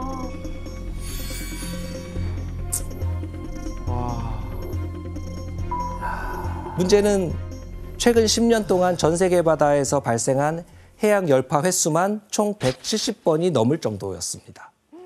교수님, 이거 지금 전 세계적으로 이렇게 문제가 생기고 있으면 한국 바다의 수온도 좀 걱정이 되는데 뭐 어떤 상황이에요? 네, 우리나라 주변 바다의 수온 상승은 전 세계 평균보다도 더 빠른 속도로 나타나고 있습니다. 1968년부터 지난 50여 년간 우리나라 주변 바다의 평균 수온이 약 1.35도 정도 상승했는데요. 와이 제주도의 경우에는 겨울 바다 수온이 어, 지난 36년 동안 무려 3.6도가 올랐습니다. 이건 제주 바다가 아열대 바다처럼 완전히 변해버리고 있다는 것을 의미합니다. 어릴 때는 풀도 많고 모든 바다가 살아 있어서 감태도 오고 뭐 소라도 많고 물건이라는 물건인 건 하나도 없고 바다가 이 백바다가 되어 있습니다 지금은. 요즘은 바닥에 아무것도 없어 풀에는 거. 바다가 해영. 다 늙어변 다 썩어변. 바다가 다 썩어변. 지구 온난화가 진행되면서 우리나라 바닷물의 온도가 빠른 속도로 높아지고 있습니다.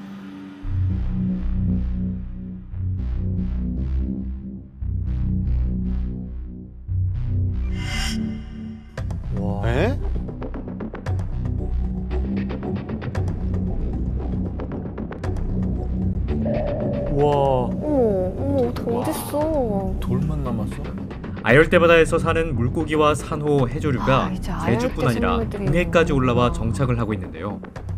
백바다 아유, 백바다 됐다는 말. 뭐 와닿네요, 엄청. 무섭다. 진짜 이상하다 예, 이렇게 수온이 이제 극단적으로 높아지다 보니까 바다 환경과 생태계가 급격하게 변하는 걸 막기 위해서 바다의 열을 좀 식혀주는 것이 최선의 방법일 텐데요. 이거 진짜 어떻게 안 되나? 바로 이럴 때 이제 바다의 온도를 낮추는 것에 크게 기여하는 소중한 동물이 있습니다. 고래? 네, 해석 씨 정답입니다. 바로 고래입니다. 고래가 네. 고래? 고래? 예, 고래가 이 지방과 단백질이 많다 보니까 숨을 쉴 때마다 몸속에 탄소를 많이 저장합니다. 거대한 덩치와 이 긴 수명 때문에 고래 몸 자체가 하나의 거대한 탄소 저장고가 되는 그런 것이죠. 일반적으로 고래 한 마리가 평생 흡수하는 이산화탄소는 무려 33톤이라고 하는 보고가 있는데요. 13톤? 예, 고래가 나무보다도 훨씬 더 많은 이산화탄소를 흡수하는 셈입니다. 오, 지구 환경 지킴이네요. 그럼 고래를 좀 많이 번식하게 해야겠는데요. 네. 이렇게 이산화탄소를 이제 몸에 저장한 이런 고래가 죽고 나면은 바다 저 밑바닥에 가라앉습니다. 그래서 탄소가 수백 년 이상 바다 밖으로 배출될 일이 없도록 하는 것이죠. 한마디로 고래는 이 존재 자체만으로도 지구 온난화와 바다 수온을 감소시키는 온도 지킴이 역할을 하는 귀한 동물인 것이죠.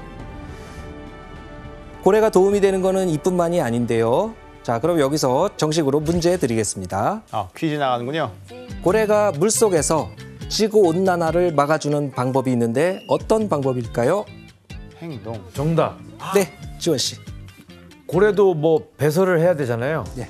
그 오줌이 엄청 차가워요. 아, 엄청 차갑구나. 네. 그거 엄청 많이 싸죠. 그래서 물의 온도를 낮추는 거죠. 어, 네, 지원 씨 오답입니다. 그런데 조금 어, 가까웠어요. 잠깐만요. 가깝다고요? 네. 야, 정답입니다. 정답입니다. 마이클 씨. 소변 말고 대변으로. 대변으로. 뭐, 일단 뭐가 있겠죠? 거기? 대변에? 대변이야? 네, 마이클 씨 정답입니다. 설마 맞아요? 네. 아 너무 한끗 차이로 맨날.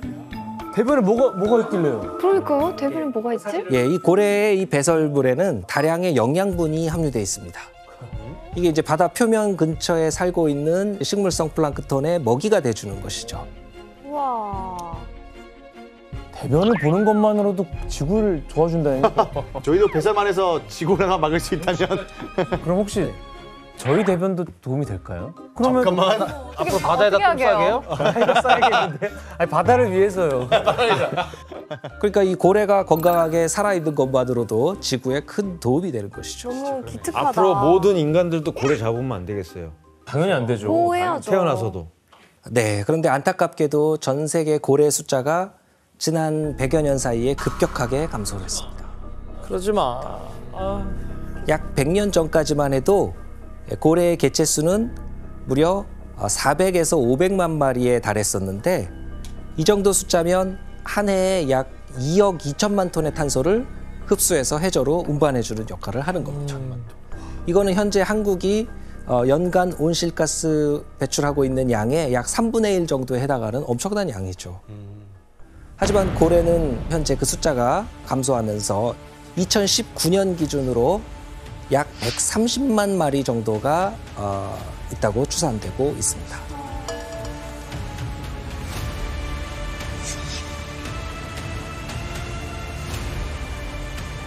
이렇게 고래가 크게 줄어든 이유는 여러 가지가 있는데 가장 큰 문제가 바로 폭염이죠. 그래서 전 세계에서 고래를 사냥한 결과 고래의 다수종이 멸종 위기에 지금 처했을 만큼 심각한 아, 문제가 됐습니다. 고래를 왜 잡는 거야? 고래가 이 너무 빠른 속도로 줄어드니까 고래를 보호하려고 1986년에 전 세계적으로 상업용 포경을 전면 금지했습니다.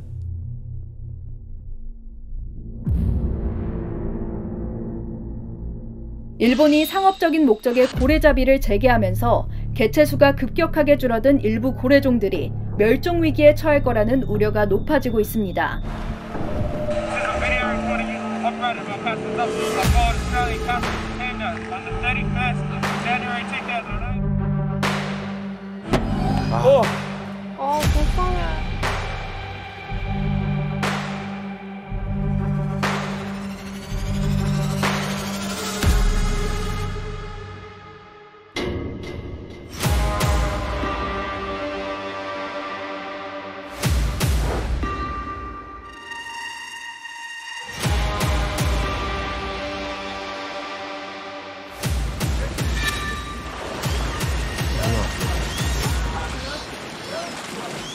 여기는 유럽인데 정통적으로 하는 곳이거든요. 전통 백부 정통이야.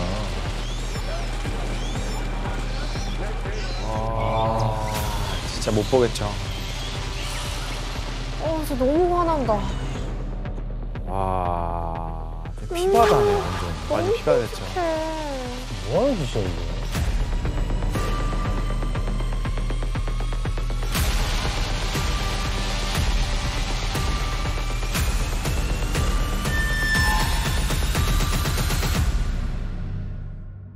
이렇게 폭염으로 크게 줄어든 고래는 바다의 수온이 상승하면서 개체수가 더 감소하고 있습니다. 예, 고래는 크릴새우나 플랑크톤 같은 이런 작은 물고기들을 먹이로 삼는데 수온이 높아지면서 생명체들이 자꾸 감소하니까 고래의 먹이가 줄어드는 것이죠. 그리고 이때 고래들이 먹이를 찾아서 육지 인근에 몰려들기도 하는데요. 문제는 육지 인근 바다에는 여러 가지 해양 쓰레기들이 많이 떠다닌다는 겁니다.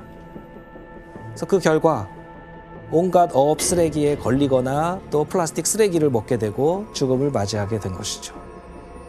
어, 너무 불쌍해. 한 연구에 따르면 이 해양 열파가 발생했던 2015년에 이런 식으로 피해를 입은 고래가 무려 550% 증가했다고 합니다. 다섯 배 이상 증가한 것이죠. 작년 2022년에 저기 그 캐나다 해안에서는 거의 죽고 가는 이제 그 향유 고래를 발견했습니다. 근데 고기 안에서 플라스틱 150kg였습니다.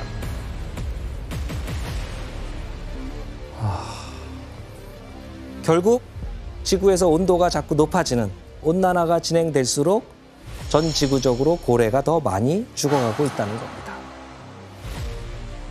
지구 온난화로 인해서 높아진 바닷물 온도가 이렇게 바다 환경을 완전히 뒤바꿔 놓고 생태계를 위협하는 중입니다. 근데 여기에 더 치명적인 문제가 현재 바다에서 대규모로 발생하는데 그건 바로 바다 속에 있는 바닷물의 산소가 또 사라지고 있다는 겁니다. 아, 산소도.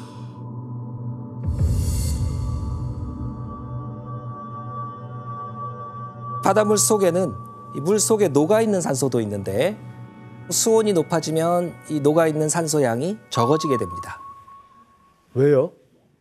보통 우리가 냉장고에서 꺼낸 그 시원한 사이다를 밖에 놔두면은 미지근해지면서 금방 탄산이 빠져버리잖아요. 네. 그렇죠.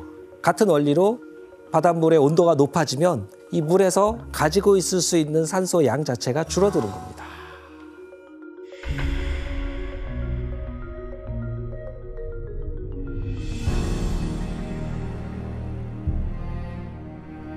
아, 이거 진짜 충격이었어. 아휴, 끔찍하다. 물고기들 대부분 산소가 줄어드니까 결국 생명이 살 수 없는 죽음의 바다로 변하게 되는 겁니다. 벌써부터 산소 부족으로 이렇게 죽으면 어떡해? 그래서 이렇게 산소가 줄어든 바다를 죽음의 바다, dead zone이라고 부르는데요. 1960년대에는 dead zone이 한 45군데 정도였다고 합니다. 그런데 지금 최근 2022년에는 전 세계 바다에 무려 700여 곳이 다 산소가 부족한 죽음의 바다로 돌변했다. 이렇게 파악이 되고 있죠. 죽음의 바다. 아직 파악하지 못한 dead zone 수까지 합치면은 아마도 최대 1000곳 이상의 바다가 생명체가 살기 힘든 그런 죽음의 바다로 변했을 것이다. 이렇게 추정되고 있습니다. 이렇게 전 지구적인 바다에서 생명체가 점점 살 곳을 잃고 이렇게 내몰리고 있는 상태인데요. 근데 더 심각한 거는 바다 생태계를 완전히 초토화시키는 사건들이 한 번씩 발생해서 바다 상황을 더 심각하게 만들고 있습니다. 생명체가 점점 살 곳을 잃고 이렇게 내몰리고 있는 상태인데요. 근데 더 심각한 거는 바다 생태계를 완전히 초토화시키는 사건들이 한 번씩 발생해서 바다 상황을 더 심각하게 만들고 있습니다. 아, 진짜 엎친 데 덮친 게 없네. 그거는 또 어떤 문제일까요? 유조선? 네, 맞습니다. 석유가 유출돼서 원유가 이렇게 퍼져서 바다 생태계를 또 파괴하는 문제인데요.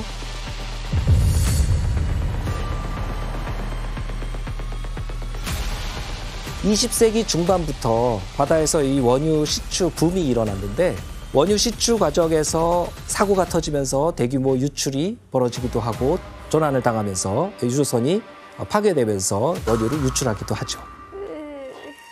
특히 2010년도에 역사상 가장 심각한 환경 재난 중 하나로 꼽힙니다. 이 멕시코반에서 일어났던 그 디버터 허라이즌호 폭발 사고 진짜 저때 기사도 엄청 많이 났었던 것 같아요. 이 디버터 허라이즌 이 시추선은 심해 1,500m 해저에서 석유를 뽑아 올리는 첨단의 시추선이었습니다. 그런데 심해에서 이 메탄가스가 급격하게 분출되면서 해상에서 대폭발을 일으키게 됐죠. 당시 아파트 24층 높이까지 화재가 일어났는데 바다 불탄다. 화재를 잡으려고 소방 당국에서 이제 작업을 나섰지만 시추선이 결국 침몰하고 맙니다. 이때 1,500m 해저에 위치한 시추 파이프에 구멍이 생겨서 유출된 기름 양이 약 8억 리터 정도 된다고 합니다.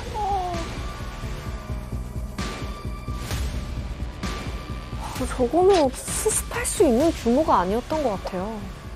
지옥 같아요. 이 기름이 이제 미국 남부를 다 덮치면서 해양 생태계를 거의 초토화시킨 것이죠. 특히 이 시추 장소에서 가까웠던 루이지애나주 상황이 아주 심각했습니다.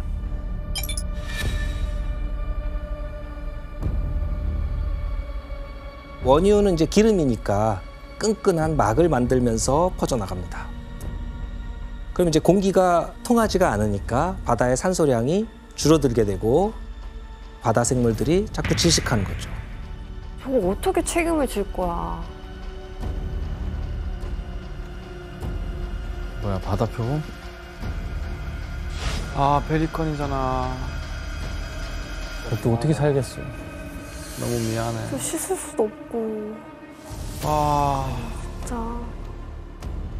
어, 약 천여 마리에 달하는 이 펠리컨들이 집단으로 죽음을 맞이하게 된 거죠. 바다에서까지 석유를 뽑으려고 그래. 뭐 펠리컨뿐만 아니라 미국 남부에서 집단으로 죽은 동물이 또 있는데 바로 거북이죠. 예, 당시 예, 600여 마리의 거북이들이 이 원유 때문에 숨진 채 발견이 됐습니다. 자, 여기서 정식 문제 드리겠습니다. 루이지애나 동물보호소에서는 원유에 오염된 거북이를 살리기 위해 식재료 중 하나인 이것을 먹였다고 하는데요. 무엇을 먹였을까요? 뭔가 흡수하는 건가? 아 정답. 줄리안 씨. 빵 같은 거 흡수 잘하니까. 빵. 혹시 곱창 먹으러 가서 식빵 놓고 기름 빨아들인 그거 생각한 거? 약간 그런 느낌.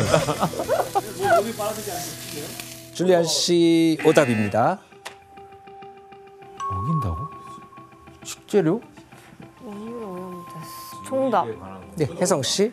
그냥 기름처럼 미끌미끌한 미역? 미역. 해초. 혜성 씨도 오답입니다. 힌트를 드리면 약간 음식 식재료 중에서도 기름 성분의 식재료다 이렇게 생각. 기름 성분인 거예요? 정답.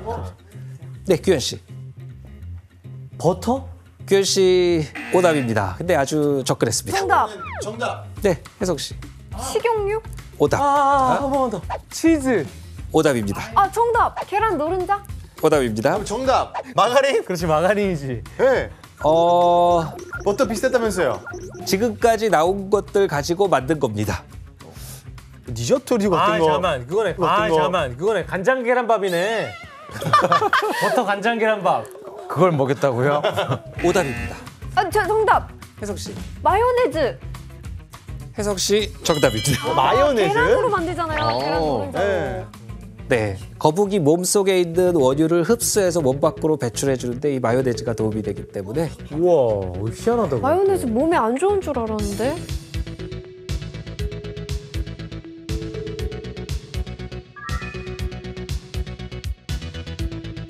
그럼 저희 안에 있는 기름도 마요네즈가 배출해 주는 거예요? 그거는 제가 잘 모르겠는데. 뭐, 뭐 유조선 꼽아도 돼요? 몸에서 기름이 나와요? 기름이 이제 뭐 혈관이나 이런 데 있으니까. 근데 태안의 그 기름 그 제거 그 봉사도 저희 해봤는데 진짜 안 닦여요. 그거 돌에 되게 끈적끈적하게 돼 있더라고요. 충남 태안 앞바다의 기름띠가 인근 해상으로 빠르게 확산되면서 비상이 걸렸습니다. 복구에는 최소한 두 달 이상이 걸릴 것으로 예상됐습니다.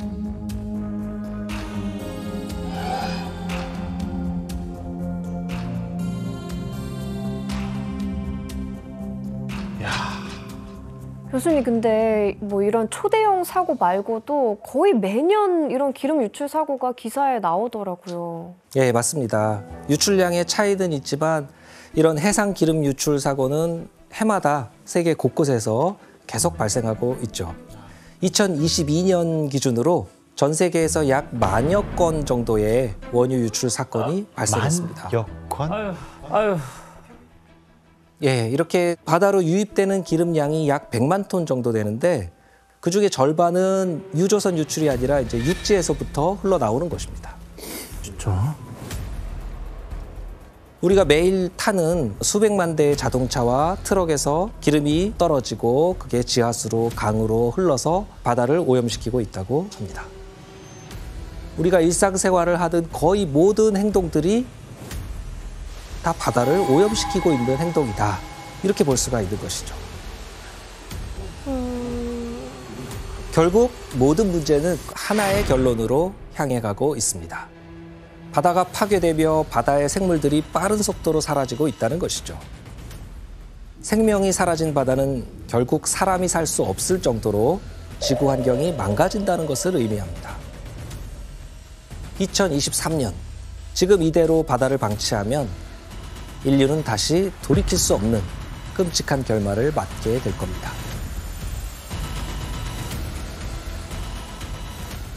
그러면 이러한 사태들을 막기 위해서는 우리가 뭘 하면 되죠? 예. 바다를 다시 살려내기 위해서 우리가 당장 해야 될 일, 일이라는 것은 명확합니다.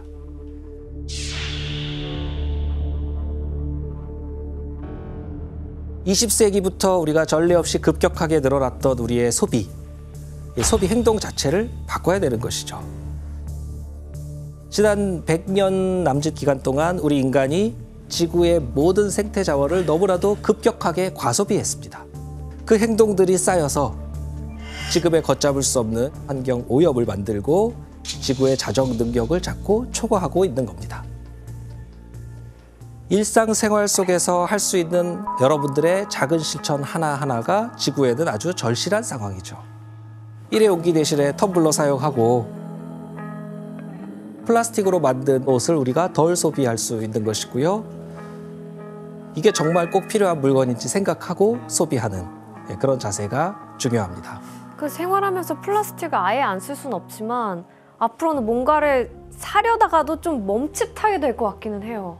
그 zero waste라는 게 있어요. 그게 최대한 쓰레기 줄이기 위해서 하는 운동인데요. 그 철학이 딱 간단해요. R 다섯 개 지키면 되는 건데요.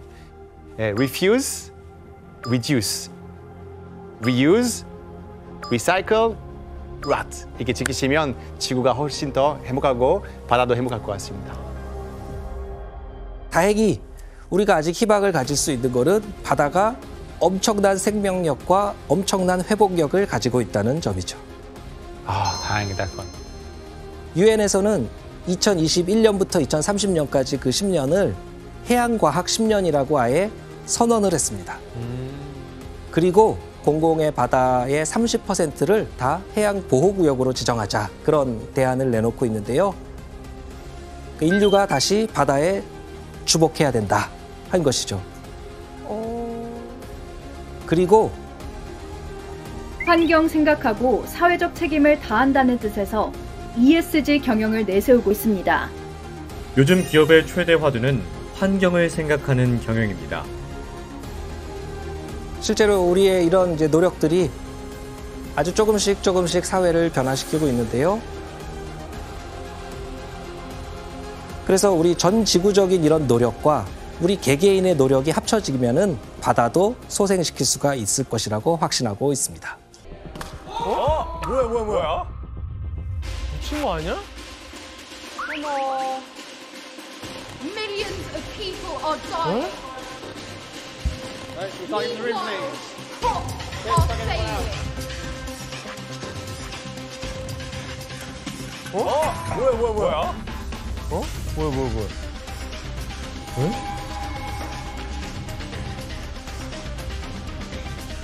Ladies and gentlemen, we are sorry for the disruption.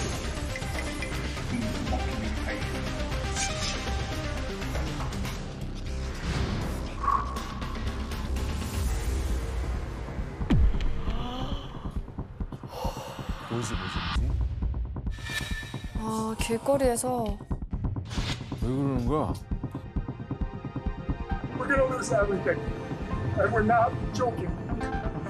We have tried everything! 왜 왜? 이런 행동을 할 만한 뭔가 있, 있겠죠. 그러니까. 좀 명분이 있겠죠. 뭐 너무 궁금해 궁금. 그러니까, 의문을 사실 그냥 봤을 때는 저 진짜 제정신인가 싶을 정도의 행동인데 목적이 뭔지를 모르겠어요 일단. 예. 그 최근 세계 곳곳에는 지금까지 없던 이런 과격한 시위들이 예, 자꾸 나타나고 있는데요. 이들의 목적은 단 하나였습니다. 바로 인류의 생존을 위해 기후 위기를 멈추기 위한 행동을 지금 당장 해야 한다는 겁니다. 기후 위기가 이제 더 이상 물러설 수 없는 벼랑 끝까지 왔다는 것을 알리기 위해서 예, 이렇게 나선 오, 난 것이죠. 그런 그 그림에다가 그런 테러를 가했다라는 게 좀 충격적이었어요. 근데 그 그렇게 큰 문화재를 망가뜨리는 근데 거는 파손되지 않았던 게 앞에 유리로 돼 있었기 때문에 아, 문제는 다행이네. 없는데 다행이다, 다행이다. 아, 그냥 이제 어떤 액션으로 보여주려고 했던 거예요. 네, 맞습니다. 그 시위 방법에는 논란의 여지가 있지만 예, 현재 기후 위기를 넘어 기후 재앙이라는 말이 나올 만큼 심각한 상황이라는 점에는 모두가 공감하고 있죠. 선생님 대체 지금 지구가 어느 상태인 거예요? 지금의 지구를 사람으로 비유하면은 말기 암 환자다 이렇게 이제 생각할 수 있죠. 왜 왜? 그것도 온몸 곳곳에 암 세포가 다 전이된 그런 상태로 봐야 됩니다. 아 진짜 지금까지 어떤 주제보다 제일 무서워. 맞아요. 그러니까 저희가 항상 과거에 대해서 좀 많이 알아왔는데 지금 미래를 대비하기 위해서 저희가 배워야 되는 거잖아요. 교수님 오늘 여행지 어딘가요? 예, 최근 벌어진 기후 변화의 원인을 파헤치기 위해서 인도양을 대표하는 나라 호주로 떠나보겠습니다. 오, 나라. welcome to 호주. 그래서 근데 이게 너무 아름다운 이 호주를 기후 위기의 원인을 찾기 위해서 온 거에 맞나요? 예, 세계사에서의 중요한 분기점을 만들어 왔던 그 기후 변화가 2019년 이전과 다르게 이례적이고 아주 극단적으로 나타나기 시작을 합니다. 이때 이제 큰 악재가 닥친 곳이 바로 호주였죠. 대체 호주에서 무슨 일이 발생했었는지 알기 위해서는 먼저 지구 환경에 어떤 변화가 아, 있었는지부터 짚어볼 필요가 있습니다. 그래서 그래프를 하나 보면서 예, 이야기를 나눠보겠습니다. 네. 뭐야 이거 어떻게 알아? 이거는 이제 지난 2000년 동안 예, 지구의 평균 온도를 나타낸 그래프입니다. 인류는 이제 문명이 시작된 후부터 이렇게 따뜻한 기후가 이어지고 그러면서 농업 생산력도 좋아지고 또 인구가 번성하고 도시도 발달하고 기후 변화에 이제 영향을 많이 받아왔대요. 그런데 그 후에 또 정반대의 상황이 펼쳐지게 됩니다. 어? 소빙하기라고 부르는 그런 식인데요. 지구 온도가 이제 낮아지기 시작을 하죠. 그래서 소빙하기가 되면서 세계 곳곳에서 아주 심각한 가뭄, 대기근, 대규모 전염병 이런 것들이 이제 나타나게 되죠. 그 당시 흑사병 피해가 컸던 것도 이 기후 변화로 인한 예, 그 대기근 영향이다. 이렇게 이제 추측이 되고 있죠. 그래서 우리나라도 17세기 조선 시대 때 경신 대기근 그 당시에 수십만 명의 사람들이 죽었다는 그런 기록이 있고요. 그러면 이 소빙하기 이 시기에 지구의 온도가 얼마나 내려갔던 걸까요? 그래봤자 영, 마이너스 0.5도 아니에요? 마이너스 0.5도까지 안 가는 것 같은데. 예, 한 0.2도 이 정도 낮아진 건데 이 작은 온도 차이가 지구의 기후를 바꾸고 인류의 생존과 세계사에 지대한 영향을 미쳤던 거죠. 그러니까 소빙하기라고 해도 굉장한 기온 차가 있는 건 아니었네요. 예, 지금 저 그래프상 2000년대는 확 올라갔는데 그러면은 너무 위험해 보이는데? 그렇죠. 그러면은 저때 무슨 일이 생겼던 걸까요? 산업혁명. 그렇습니다. 예, 산업화, 예, 산업혁명이 있었죠. 산업혁명이 있고 나서부터 인류는 이제 물질적으로 전례 없이 풍요한 이런 시대로 맞이하게 되는데 이때부터 우리가 공장, 기차, 자동차, 발전소 이런 것들을 이제 기하급수적으로 늘려오니까 불과 100년 만에 1.1도 이렇게 올라간 것입니다. 이렇게 급격하게 올라간 이런 거는 지구 역사상 유례가 없는 그런 일이죠. 최근 200년에 너무 급격한데요? 네. 그러니까 저만큼 뭐야 0점 몇 했는데도 뭔가 이상 변화들이 생기는데 지금 1.1도가 이렇게 올라간다면 굉장히 심각하게 뭔가가 변화가 오겠네요. 맞습니다. 지구 전체 평균 온도, 더군다나 기후에서 이 1.1도가 올랐다는 거는 아주 심각한 문제라는 거고요.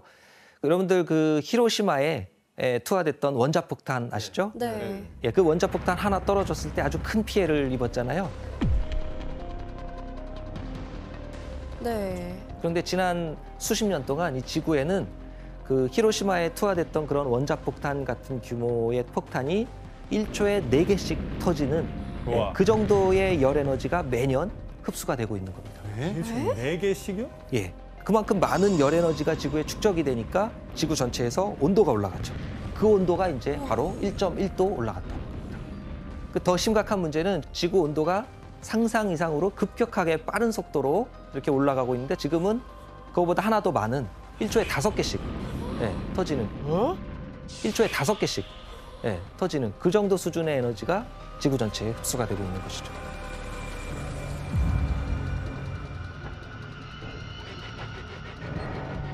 아니 그러면 지구를 뜨겁게 만드는 실제적인 원인은 뭐예요?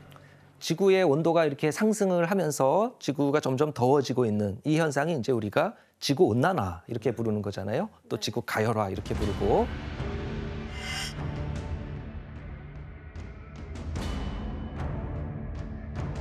지구 온난화를 만든 핵심 원인 네, 이거는 우리가 배출한 그 온실가스 그 온실가스 농도가 증가했기 때문에 그런 것이죠.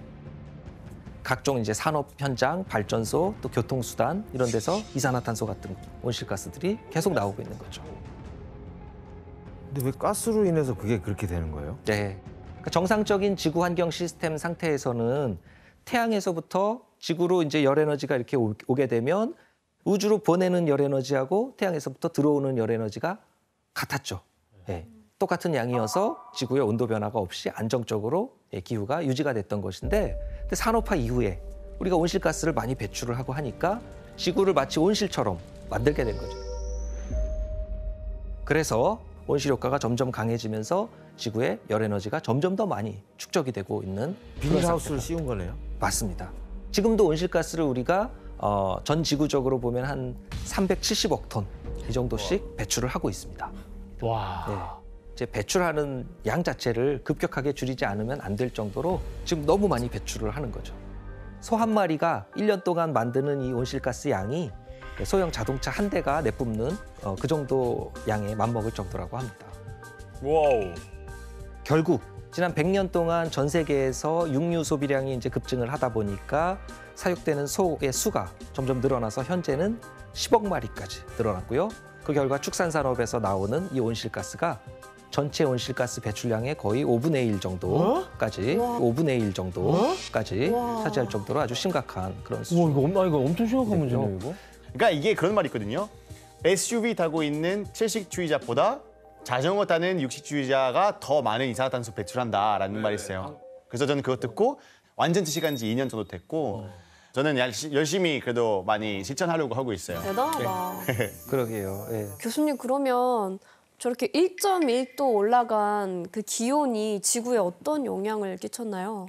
예, 급격한 산업화와 육식 등의 이런 생활 변화로 인해서 인류가 초래한 지구 온난화는 특히 2019년에 예, 지구 시스템에 예상치 못한 그런 변화를 가져오게 됩니다. 19년?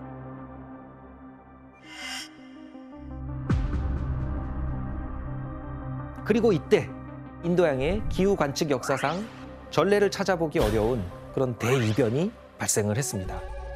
바로 인도양의 이 동쪽하고 서쪽 사이에 온도 차이가 무려 2도까지 이렇게 올라가게 됩니다.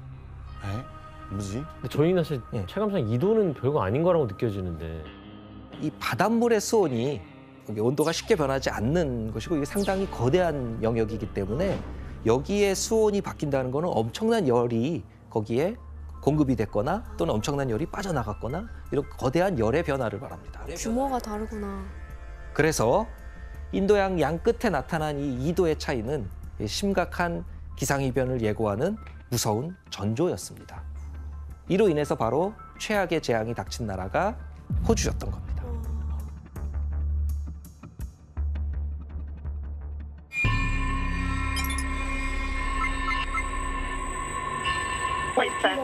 Location of your emergency? They're on the driveway, but there's, a, fi- there's fires broken out up closer to the house. 그리고 모든 국민을 이 공포와 혼돈으로 내몰았던 끔찍한 재해가 바로 초대형 산불이었죠. 진짜 무서운 시기였어요. 아니 이게 진짜 전 세계 뉴스 다 나왔잖아요 이거.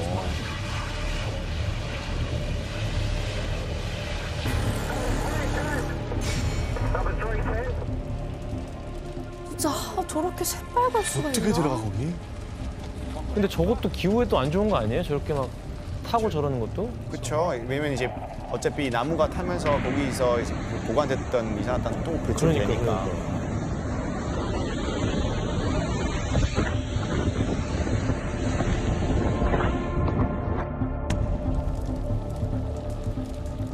와, 저 빨간 하늘 보세요. 와. 와 진짜 지옥이다 지옥. 와, 너무 무서워. 이 초기에 불이 붙은 곳은 호주 동남부의 뉴 사우스 웨일스 주하고 이제 퀸즐랜드 주의 두 군데였습니다. 이 건조한 산에 갑자기 마른 번개가 막 내려치고 이러면서 불씨가 붙고 네, 산불이 시작됐다고 이렇게 추정을 하고 있는데요. 이때만 해도 산불이 이렇게까지 커질 거라고는 누구도 예상을 하지 못했습니다. 예, 그런데 한 달 사이에 이렇게 광활하게 넓은 이 호주 대륙에서 산불이 비정상적으로 빠르고 강하게 번져나가기 시작하는 겁니다. 당시 상황이 아주 전쟁과도 같은 그런 상황이었습니다. 그래서 뉴 사우스 웨일즈 주 정부에서 이 산불 진화를 위해서 예, 연 인원 25만 명 이렇게 투입을 하고 예, 소방 차량 700대와 항공기 100대 이상 이렇게 동원을 해서 화재 진압을 시도하는데요. 심지어는 미국, 뭐 뉴질랜드, 싱가폴, 캐나다 등등 해외에서도 천 명이 넘는 대규모 소방팀을 지원받아가지고 아, 현장에 왔구나. 투입을 한 겁니다. 아니 그러니까 챔버 씨 진짜 그때 당시에 그 호주 사람들 반응이 어땠어요? 저 산불 막안 꺼질 때. 아, 진짜 호주에서는 원래 몇 년에 한 번씩 큰 산불이 발생할 수도 있긴 한데 이번에는 진짜 멈추지 않았으니까 사람들은 어떻게 안심할 수가 없어요. 완전히 끔찍한 상황이었어요. This is literally not real. This is not real. Oh my god, I can't see anything. I can't see anything. Fuck. That's massive, man. I've never seen that before. huge. It's frightening. It's a monster. It's ravenous. 교수님, 그러면 이 산불이 왜 이렇게 무서운 속도로 번진 거예요? 예, 그거는 이 산불을 진압하기 어려운 아주 최악의 상황들이 계속해서 펼쳐졌기 때문인데요. 특히 이 산불 현장에서 이것이 만들어져서 화재 진압을 무척 어렵게 만들었습니다. 그게 뭔지 예, 한번 영상을 통해서 확인해 보시겠습니다. 뭐, 뭐지? 근데 이게 바람 때문에 그런 거 아니야? 번질 때. 진짜. 아. 회오리 바람. 회오리도 일어나 갑자기. 우와. 와. 불 어머, 어머, 저게 뭐야? 우와 뭐야 이거? 저런 건 처음 봐요. 진짜 지옥에서 나올 것만 같은. 와, 저거는 막을 수가 없겠다.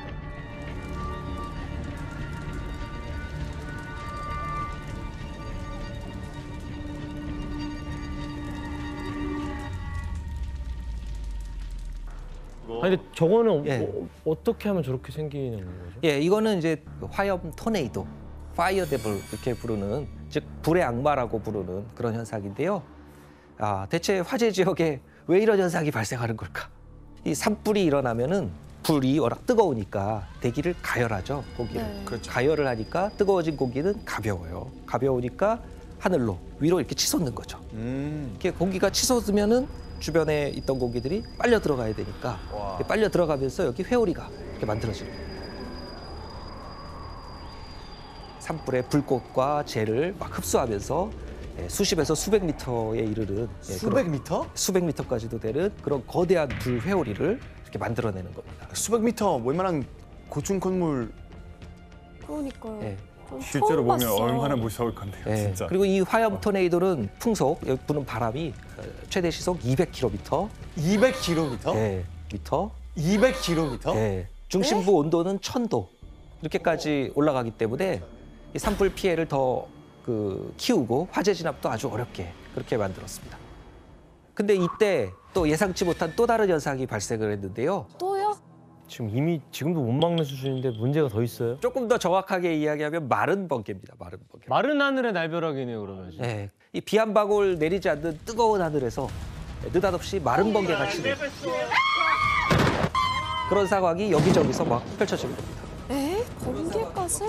진짜 무섭다. 비라도 내렸으면 좋았을 텐데. 네. 근데 이 번개가 이제 진짜 무서운 거는 뭐냐면은 번개가 바람에 밀려서 멀리까지 이동하면서 내려치니까 저 높은 하늘에서 사방으로 막 불을 쏘는 뭐 그런 셈인 겁니다. 그래서 예, 원래 산불이 안 났던 곳에 자꾸 산불이 번지면서 예, 이 산불 범위가 자꾸만 확장하고 와. 이렇게 또 새롭게 만들어지는 이 산불은 또 다시 번개, 화염 토네이도 이런 것들을 다 증폭시키면서 호주 산불을 점점 더 거대해지는 그런 악순환을 낳게 됩니다. 그러니까 뭐 화염 토네이도에 뭐 번개, 악재가 다 겹쳤네요. 그러니까 기후를 이렇게 만든 인간에 대한 지구의 심판 같은 느낌이에요. 예, 무려 11월까지 계속해서 강한 허리케인들이 연속해서 상륙을 하게 되죠.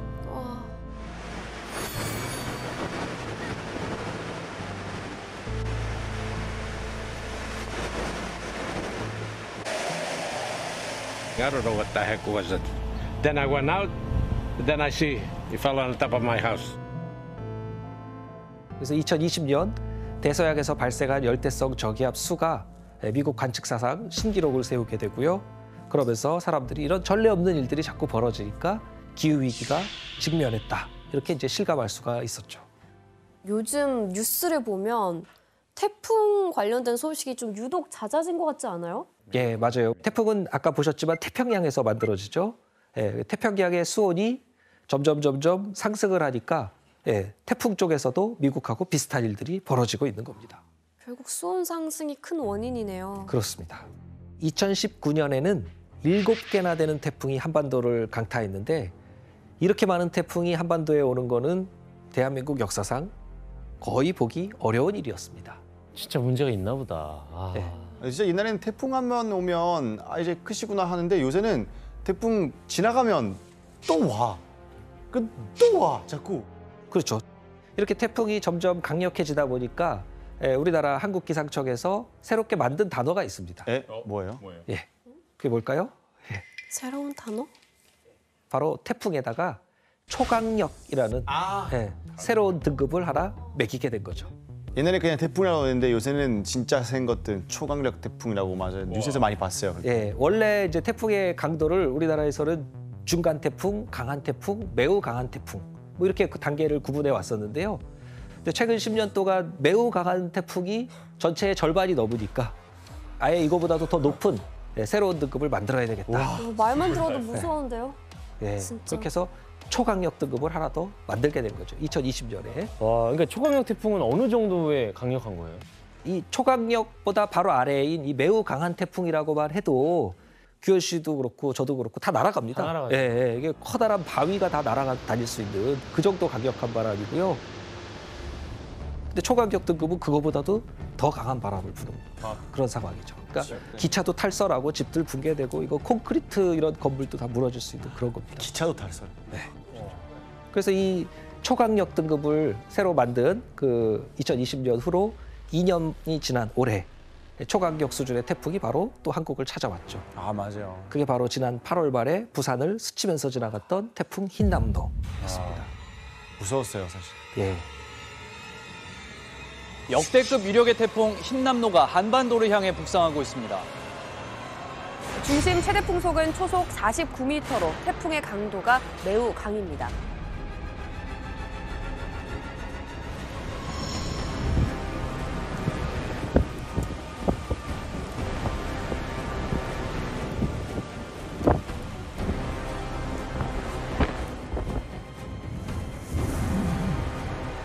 태풍 흰남노는 이 태풍의 위력만큼이나 또 놀라운 점들이 있는데요. 이 태풍이 역사상 유례가 없는 돌연변이었다는 겁니다. 태풍도 완전 돌연변이가 돌연변입니다. 있어요? 예. 원래 아까 태풍은 열대 바다에서만 만들어진다고 그랬잖아요. 예. 근데 흰남노는 그런 법칙을 깨고 열대 바다가 아닌 그 북쪽에 온대 바다에서 만들어지게 됩니다. 그럼 이제 앞으로 온대 바다에서도 태풍이 생기는 거예요? 그렇죠. 그 태풍 역사상 이게 유례가 없는 그런 와 일들이었는데 너무 무서워. 근데 문제가 또 있습니다. 또? 예, 지구 전체 기후에 막대한 영향을 미치는 게 바다뿐만이 아니라는 거죠. 어? 자칫 인류 멸망 시나리오에 서막이 열릴 수도 있는 그런 지역이 있는데 여기는 벌거벗은 세계사에서 막 처음 떠나는 여행지 오. 같아요. 예, 거기가 어딘지 지금 바로 떠나보겠습니다. 어디야? 어디 가는 거지? 어디죠?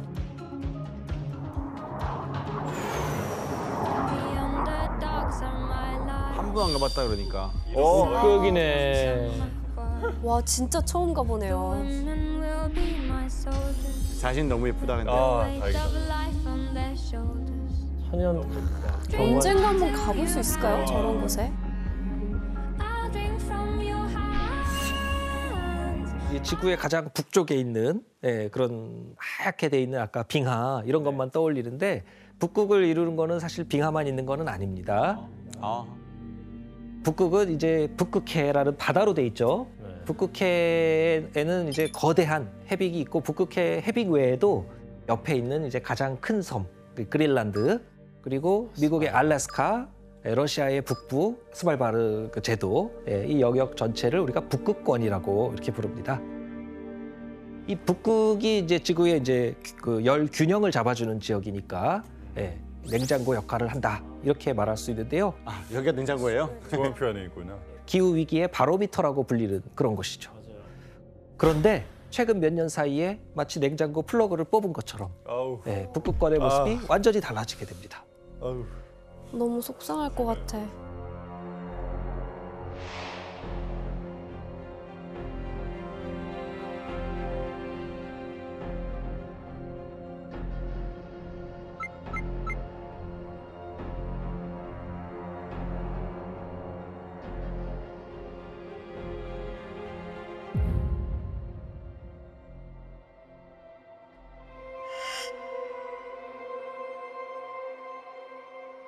와. 아니 북극 아니잖아요 이거. 그냥 사막 아니에요? 갯벌이요? 교수님 다른 사진 같은데요? 영상 잘 못 나오고 있는 것 같은데. 스타워즈에서 나오는 장면. 이게 빙하였다고요? 20도?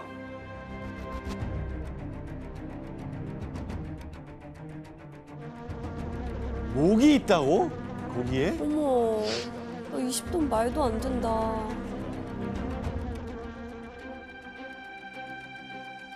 어, 좀 아, 좋아. 끝났다 우리. 아우 저 목이 진짜. 어.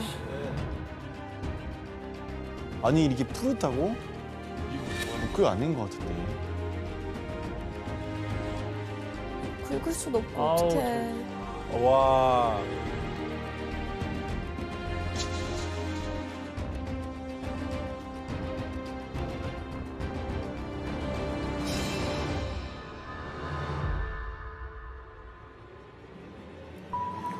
얼음이 저렇게 다 없어졌다고요? 예, 북극 사과학이 아주 심각하죠. 예. 예, 이 북극은 다른 지역에 비해서 태양열이 상대적으로 덜 미치기 때문에 항상 낮은 기온을 유지했었고 이제 그 덕분에 북극해 바닷물이 예, 얼어서 수온이 낮고 차갑고 얼어서 비가가 되고 해빙이 만들어지고 그랬던 것인데요. 하지만 지구 온난화의 영향은 북극조차도 피해갈 수가 없었습니다. 그럼 북극권의 빙하가 얼마나 녹았는지 직접 확인해 볼까요? 아유, 안 돼. 안 돼요. 안 돼요. 이제 같은 계절이기 때문에 계절적으로 달라지는 효과는 빼고 해에 따른 변화만 나타낸 겁니다. 와. 하얀색이 거의 거의 다 없는 건데요. 없어졌는데요? 아니 이거 이건 그다 녹는 거 아니에요 이러다가? 예, 이 북극해를 덮고 있던 해빙의 4분의 3이 다 사라진 상황이죠.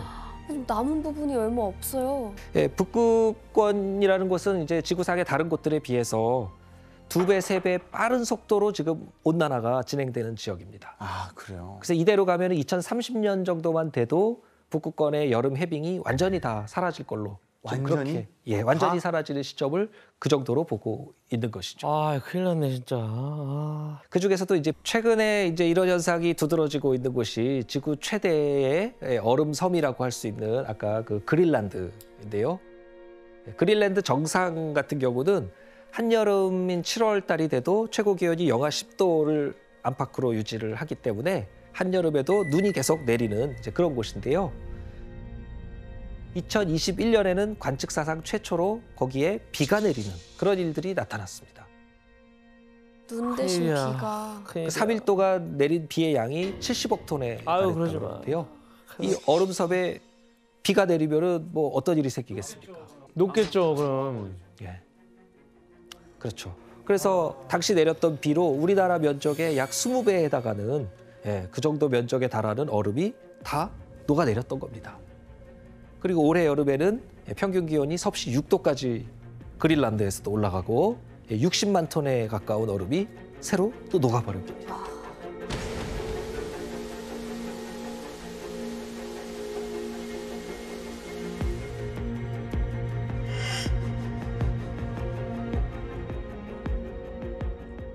이게 다 녹으면 뭐 뭐가 제일 큰 문제가 돼요? 그러니까 일단 북극권의 비가가 이 지구에 이렇게 내려쬐고 있는 이 태양열을 반사하는 역할을 한 일종의 반사판 역할을 해주거든요. 하얗잖아요. 하얘니까. 그래서 하얀색으로 비가로 덮여 있을 때는 태양빛을 많이 반사해 줬는데 이제 이게 녹으면서 그대로 흡수되는 겁니다. 그럼 더 빨리 녹겠네요. 그리고 빙하의 또 한 가지 역할은 어, 얼음으로 바다를 덮어서 수증기 증발을 막는 겁니다. 그래서 북극은 다른 어느, 어느 곳보다도 더 빠른 속도로 지금 온난화가 나타나고 있는 것이죠. 이게 점점 가속화될 일만 남았네요. 진짜 악순환. 예. 이렇게 북극권이 급속도로 더워지다 보면 인류가 어떤 위기를 맞이하게 될 것인가. 가장 먼저 짚어볼 수 있는 거는 이제 북극권에 있는 영구 동토층이라고 있는데요. 그게 이제 녹는 것이 문제가 됩니다.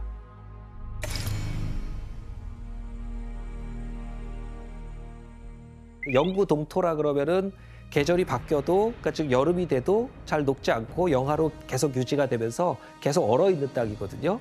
이게 지구 전체 육지 면적의 14%나 차지하는 넓은 영역인데 그런데 현재 대기 중에 있는 그 탄소량의 두 배가 넘는 1조 6천억 톤에 달하는 이 어마어마한 탄소가 영구 동토층 속에 저장이 돼 있다는 겁니다. 그러니까 이 영구 동토층이 녹으면 어떻게 되겠습니까? 탄소가 다 빠져나가겠네요. 그렇죠. 아니 안 돼. 네. 녹으면 안 돼요. 녹으면 안 되죠. 이게 지금 엄청난 이 탄소가 대기 중으로 다 나오게 되면 온실효과가 더 가속화되고 그러면 온난화는 더 빨라지는 예, 그런 악순환을 어, 가져올 수 있는 것이죠. 이 영구 동토는 그야말로 이 얼음 속에 있는 시한폭탄 같은 지금 그런 상황입니다. 교수님 그 영구 동토 층이 녹고 있다는 어떤 뭐 징후들이 있나요? 예, 그런 여러 지구들이 있는데요. 실제로 2020년 6월에 세계에서 가장 추운 도시 중에 하나라고 알려진 북극권의 도시 러시아의 어, 베르호얀스크. 이게 아무리 더운 여름이 돼도 평균 기온 20도를 안 넘던 그런 지역인데 거기 기온이 무려 38도까지 네? 치솟는 그런 일이 벌어졌습니다. 그뿐만 아니라 이제 시베리아에서는 150년 만에 닥친 고온, 가뭄 이런 것들 때문에 또 대형 산불 이런 것들이 또 발생하고요. 시베리아의 산불이란 단어가 그죠. 너무 안 어울리잖아요. 불이 난다는 게 그죠, 맞아요. 이런 기상 이변으로 인해서 이 집안이 이제 불안정해지고 이 얼어 있던 땅에서 어, 그 녹으니까 그 언 땅 위에 세워져 있던 광산, 공장, 뭐 송유관 시설 이런 것들이 다 균열이 가고 있고요. 2019년에는 영구동터 측의 유류 저장고가 파열돼서 예, 디젤 2만 톤이 유출되는 그런 사고도 발생했었습니다. 진짜 별의별 일이 다 발생하는 것 같은데 제가 봤던 것 중에 놀라웠던 게 있었어요. 2016년도 7월에 러시아 시베리아 이제 야말반도 쪽에서 약 2,300마리의 순록이 갑자기 이제 죽었던 사건이 있었어요. 근데 알고 보니까 바로 탄저균 때문이었어요. 탄저균? 어, 어디서 온 거예요? 이 영구 동토에서 원래 이제 죽었던 순록들이 있었는데 그 순록들이 옛날에 탄저균 통해서 이제 죽었나 봐요. 그래서 그 탄저균이 영구 동토가 녹으면서 다시 살아나가지고 감염이 되는 거죠. 빠져나왔. 빠져나와가지고 그래서 이 순록들이 죽었다 하는데 영구 동토층 안에서 어떤 바이러스 있을지는 모르잖아요. 그래서 많은 학자들이 진짜 너무 무섭다고 하고 그러니까 하는 수십만 년 게 동안 무- 묻혀있던 몇백만 년 이상 있던 게 나올 수도 있는 거잖아요. 진짜 약간 공포 영화에서 나오는 그런 시나리오들만 지금 계속 얘기하고 있는 것 같아요. 예, 이렇게 빠르게 이렇게 급속도로 녹고 있는 빙하로 인해서 인류에게 닥친 위기는 또 있습니다. 온난화로 인해서 북극권의 변화가 그 지역에만 한정되지 않는다는 거죠. 지구에는 이 대기 순환에 따라서 다양한 바람이 곳곳에서 붑니다. 다양한 바람들이 부는데 그 바람에 따라 대기가 순환하면서 우리 매일매일 날씨도 변하고 그렇게 되는 것이죠.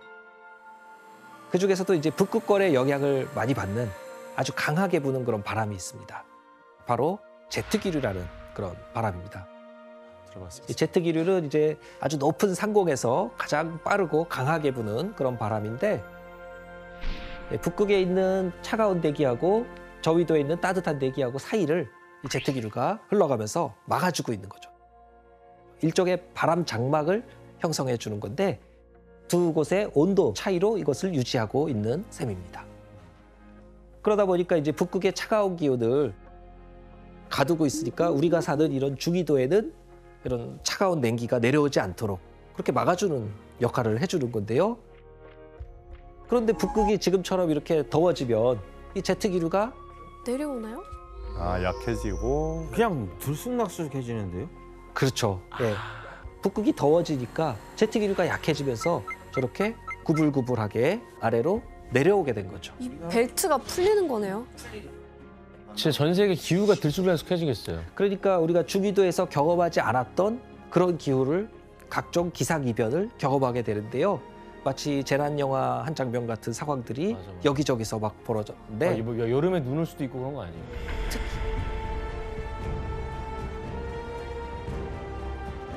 제트 기류가 약해지면서 남쪽으로 이렇게 아래쪽으로 내려와 있는 예, 그곳을 따라서 미국 남부 지방에 위치한 그 텍사스까지 북극의 냉기가 내려오다 보니까 전례 없는 수준의 그런 한파가 들이닥치게 됩니다.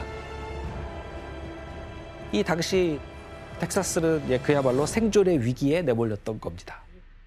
아니 근데 진짜 인류가 이렇게 안정적으로 살 수 있었던 이유가 계절이 예측되고 막 그래서 그랬던 건데 어떻게 살아?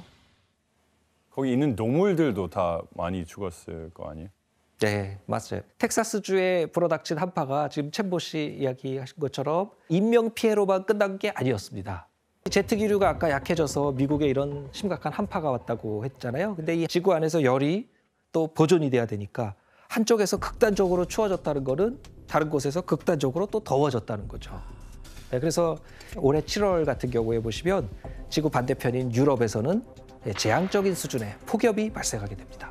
아, 그러네.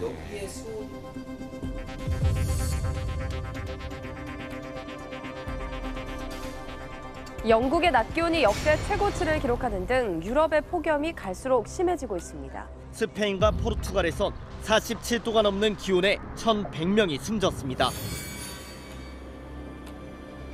와.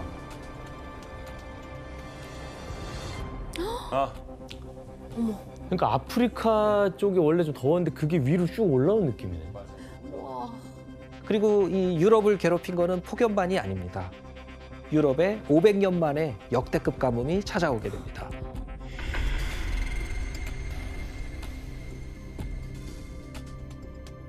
강수량이 너무 극단적으로 줄어들다 보니까 유럽의 3분의 2가 극심한 가뭄에 시달리게 됐는데요. 독일의 라인강이 바짝 말려서 바닥을 드러냈고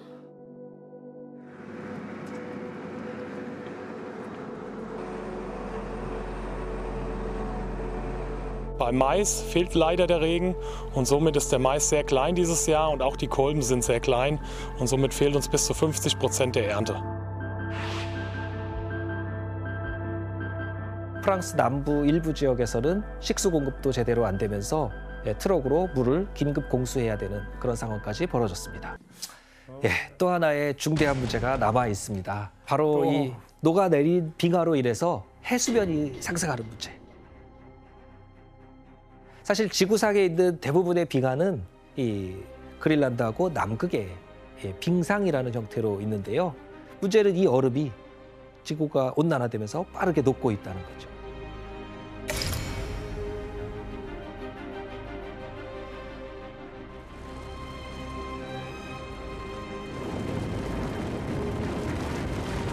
그린란드의 빙하는 하루 평균 60억 톤, 사흘간 180억 톤의 물로 변했습니다. 하루에? 아유.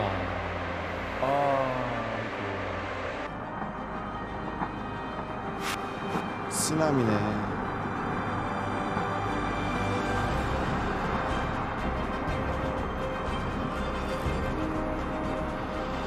칠 리터 상승? 얼음의 절대량이 많은 이 남극의 빙하가 인류 종말을 결정하는 마지노선이다. 이렇게 이제 걱정을 하고 있는 것이죠.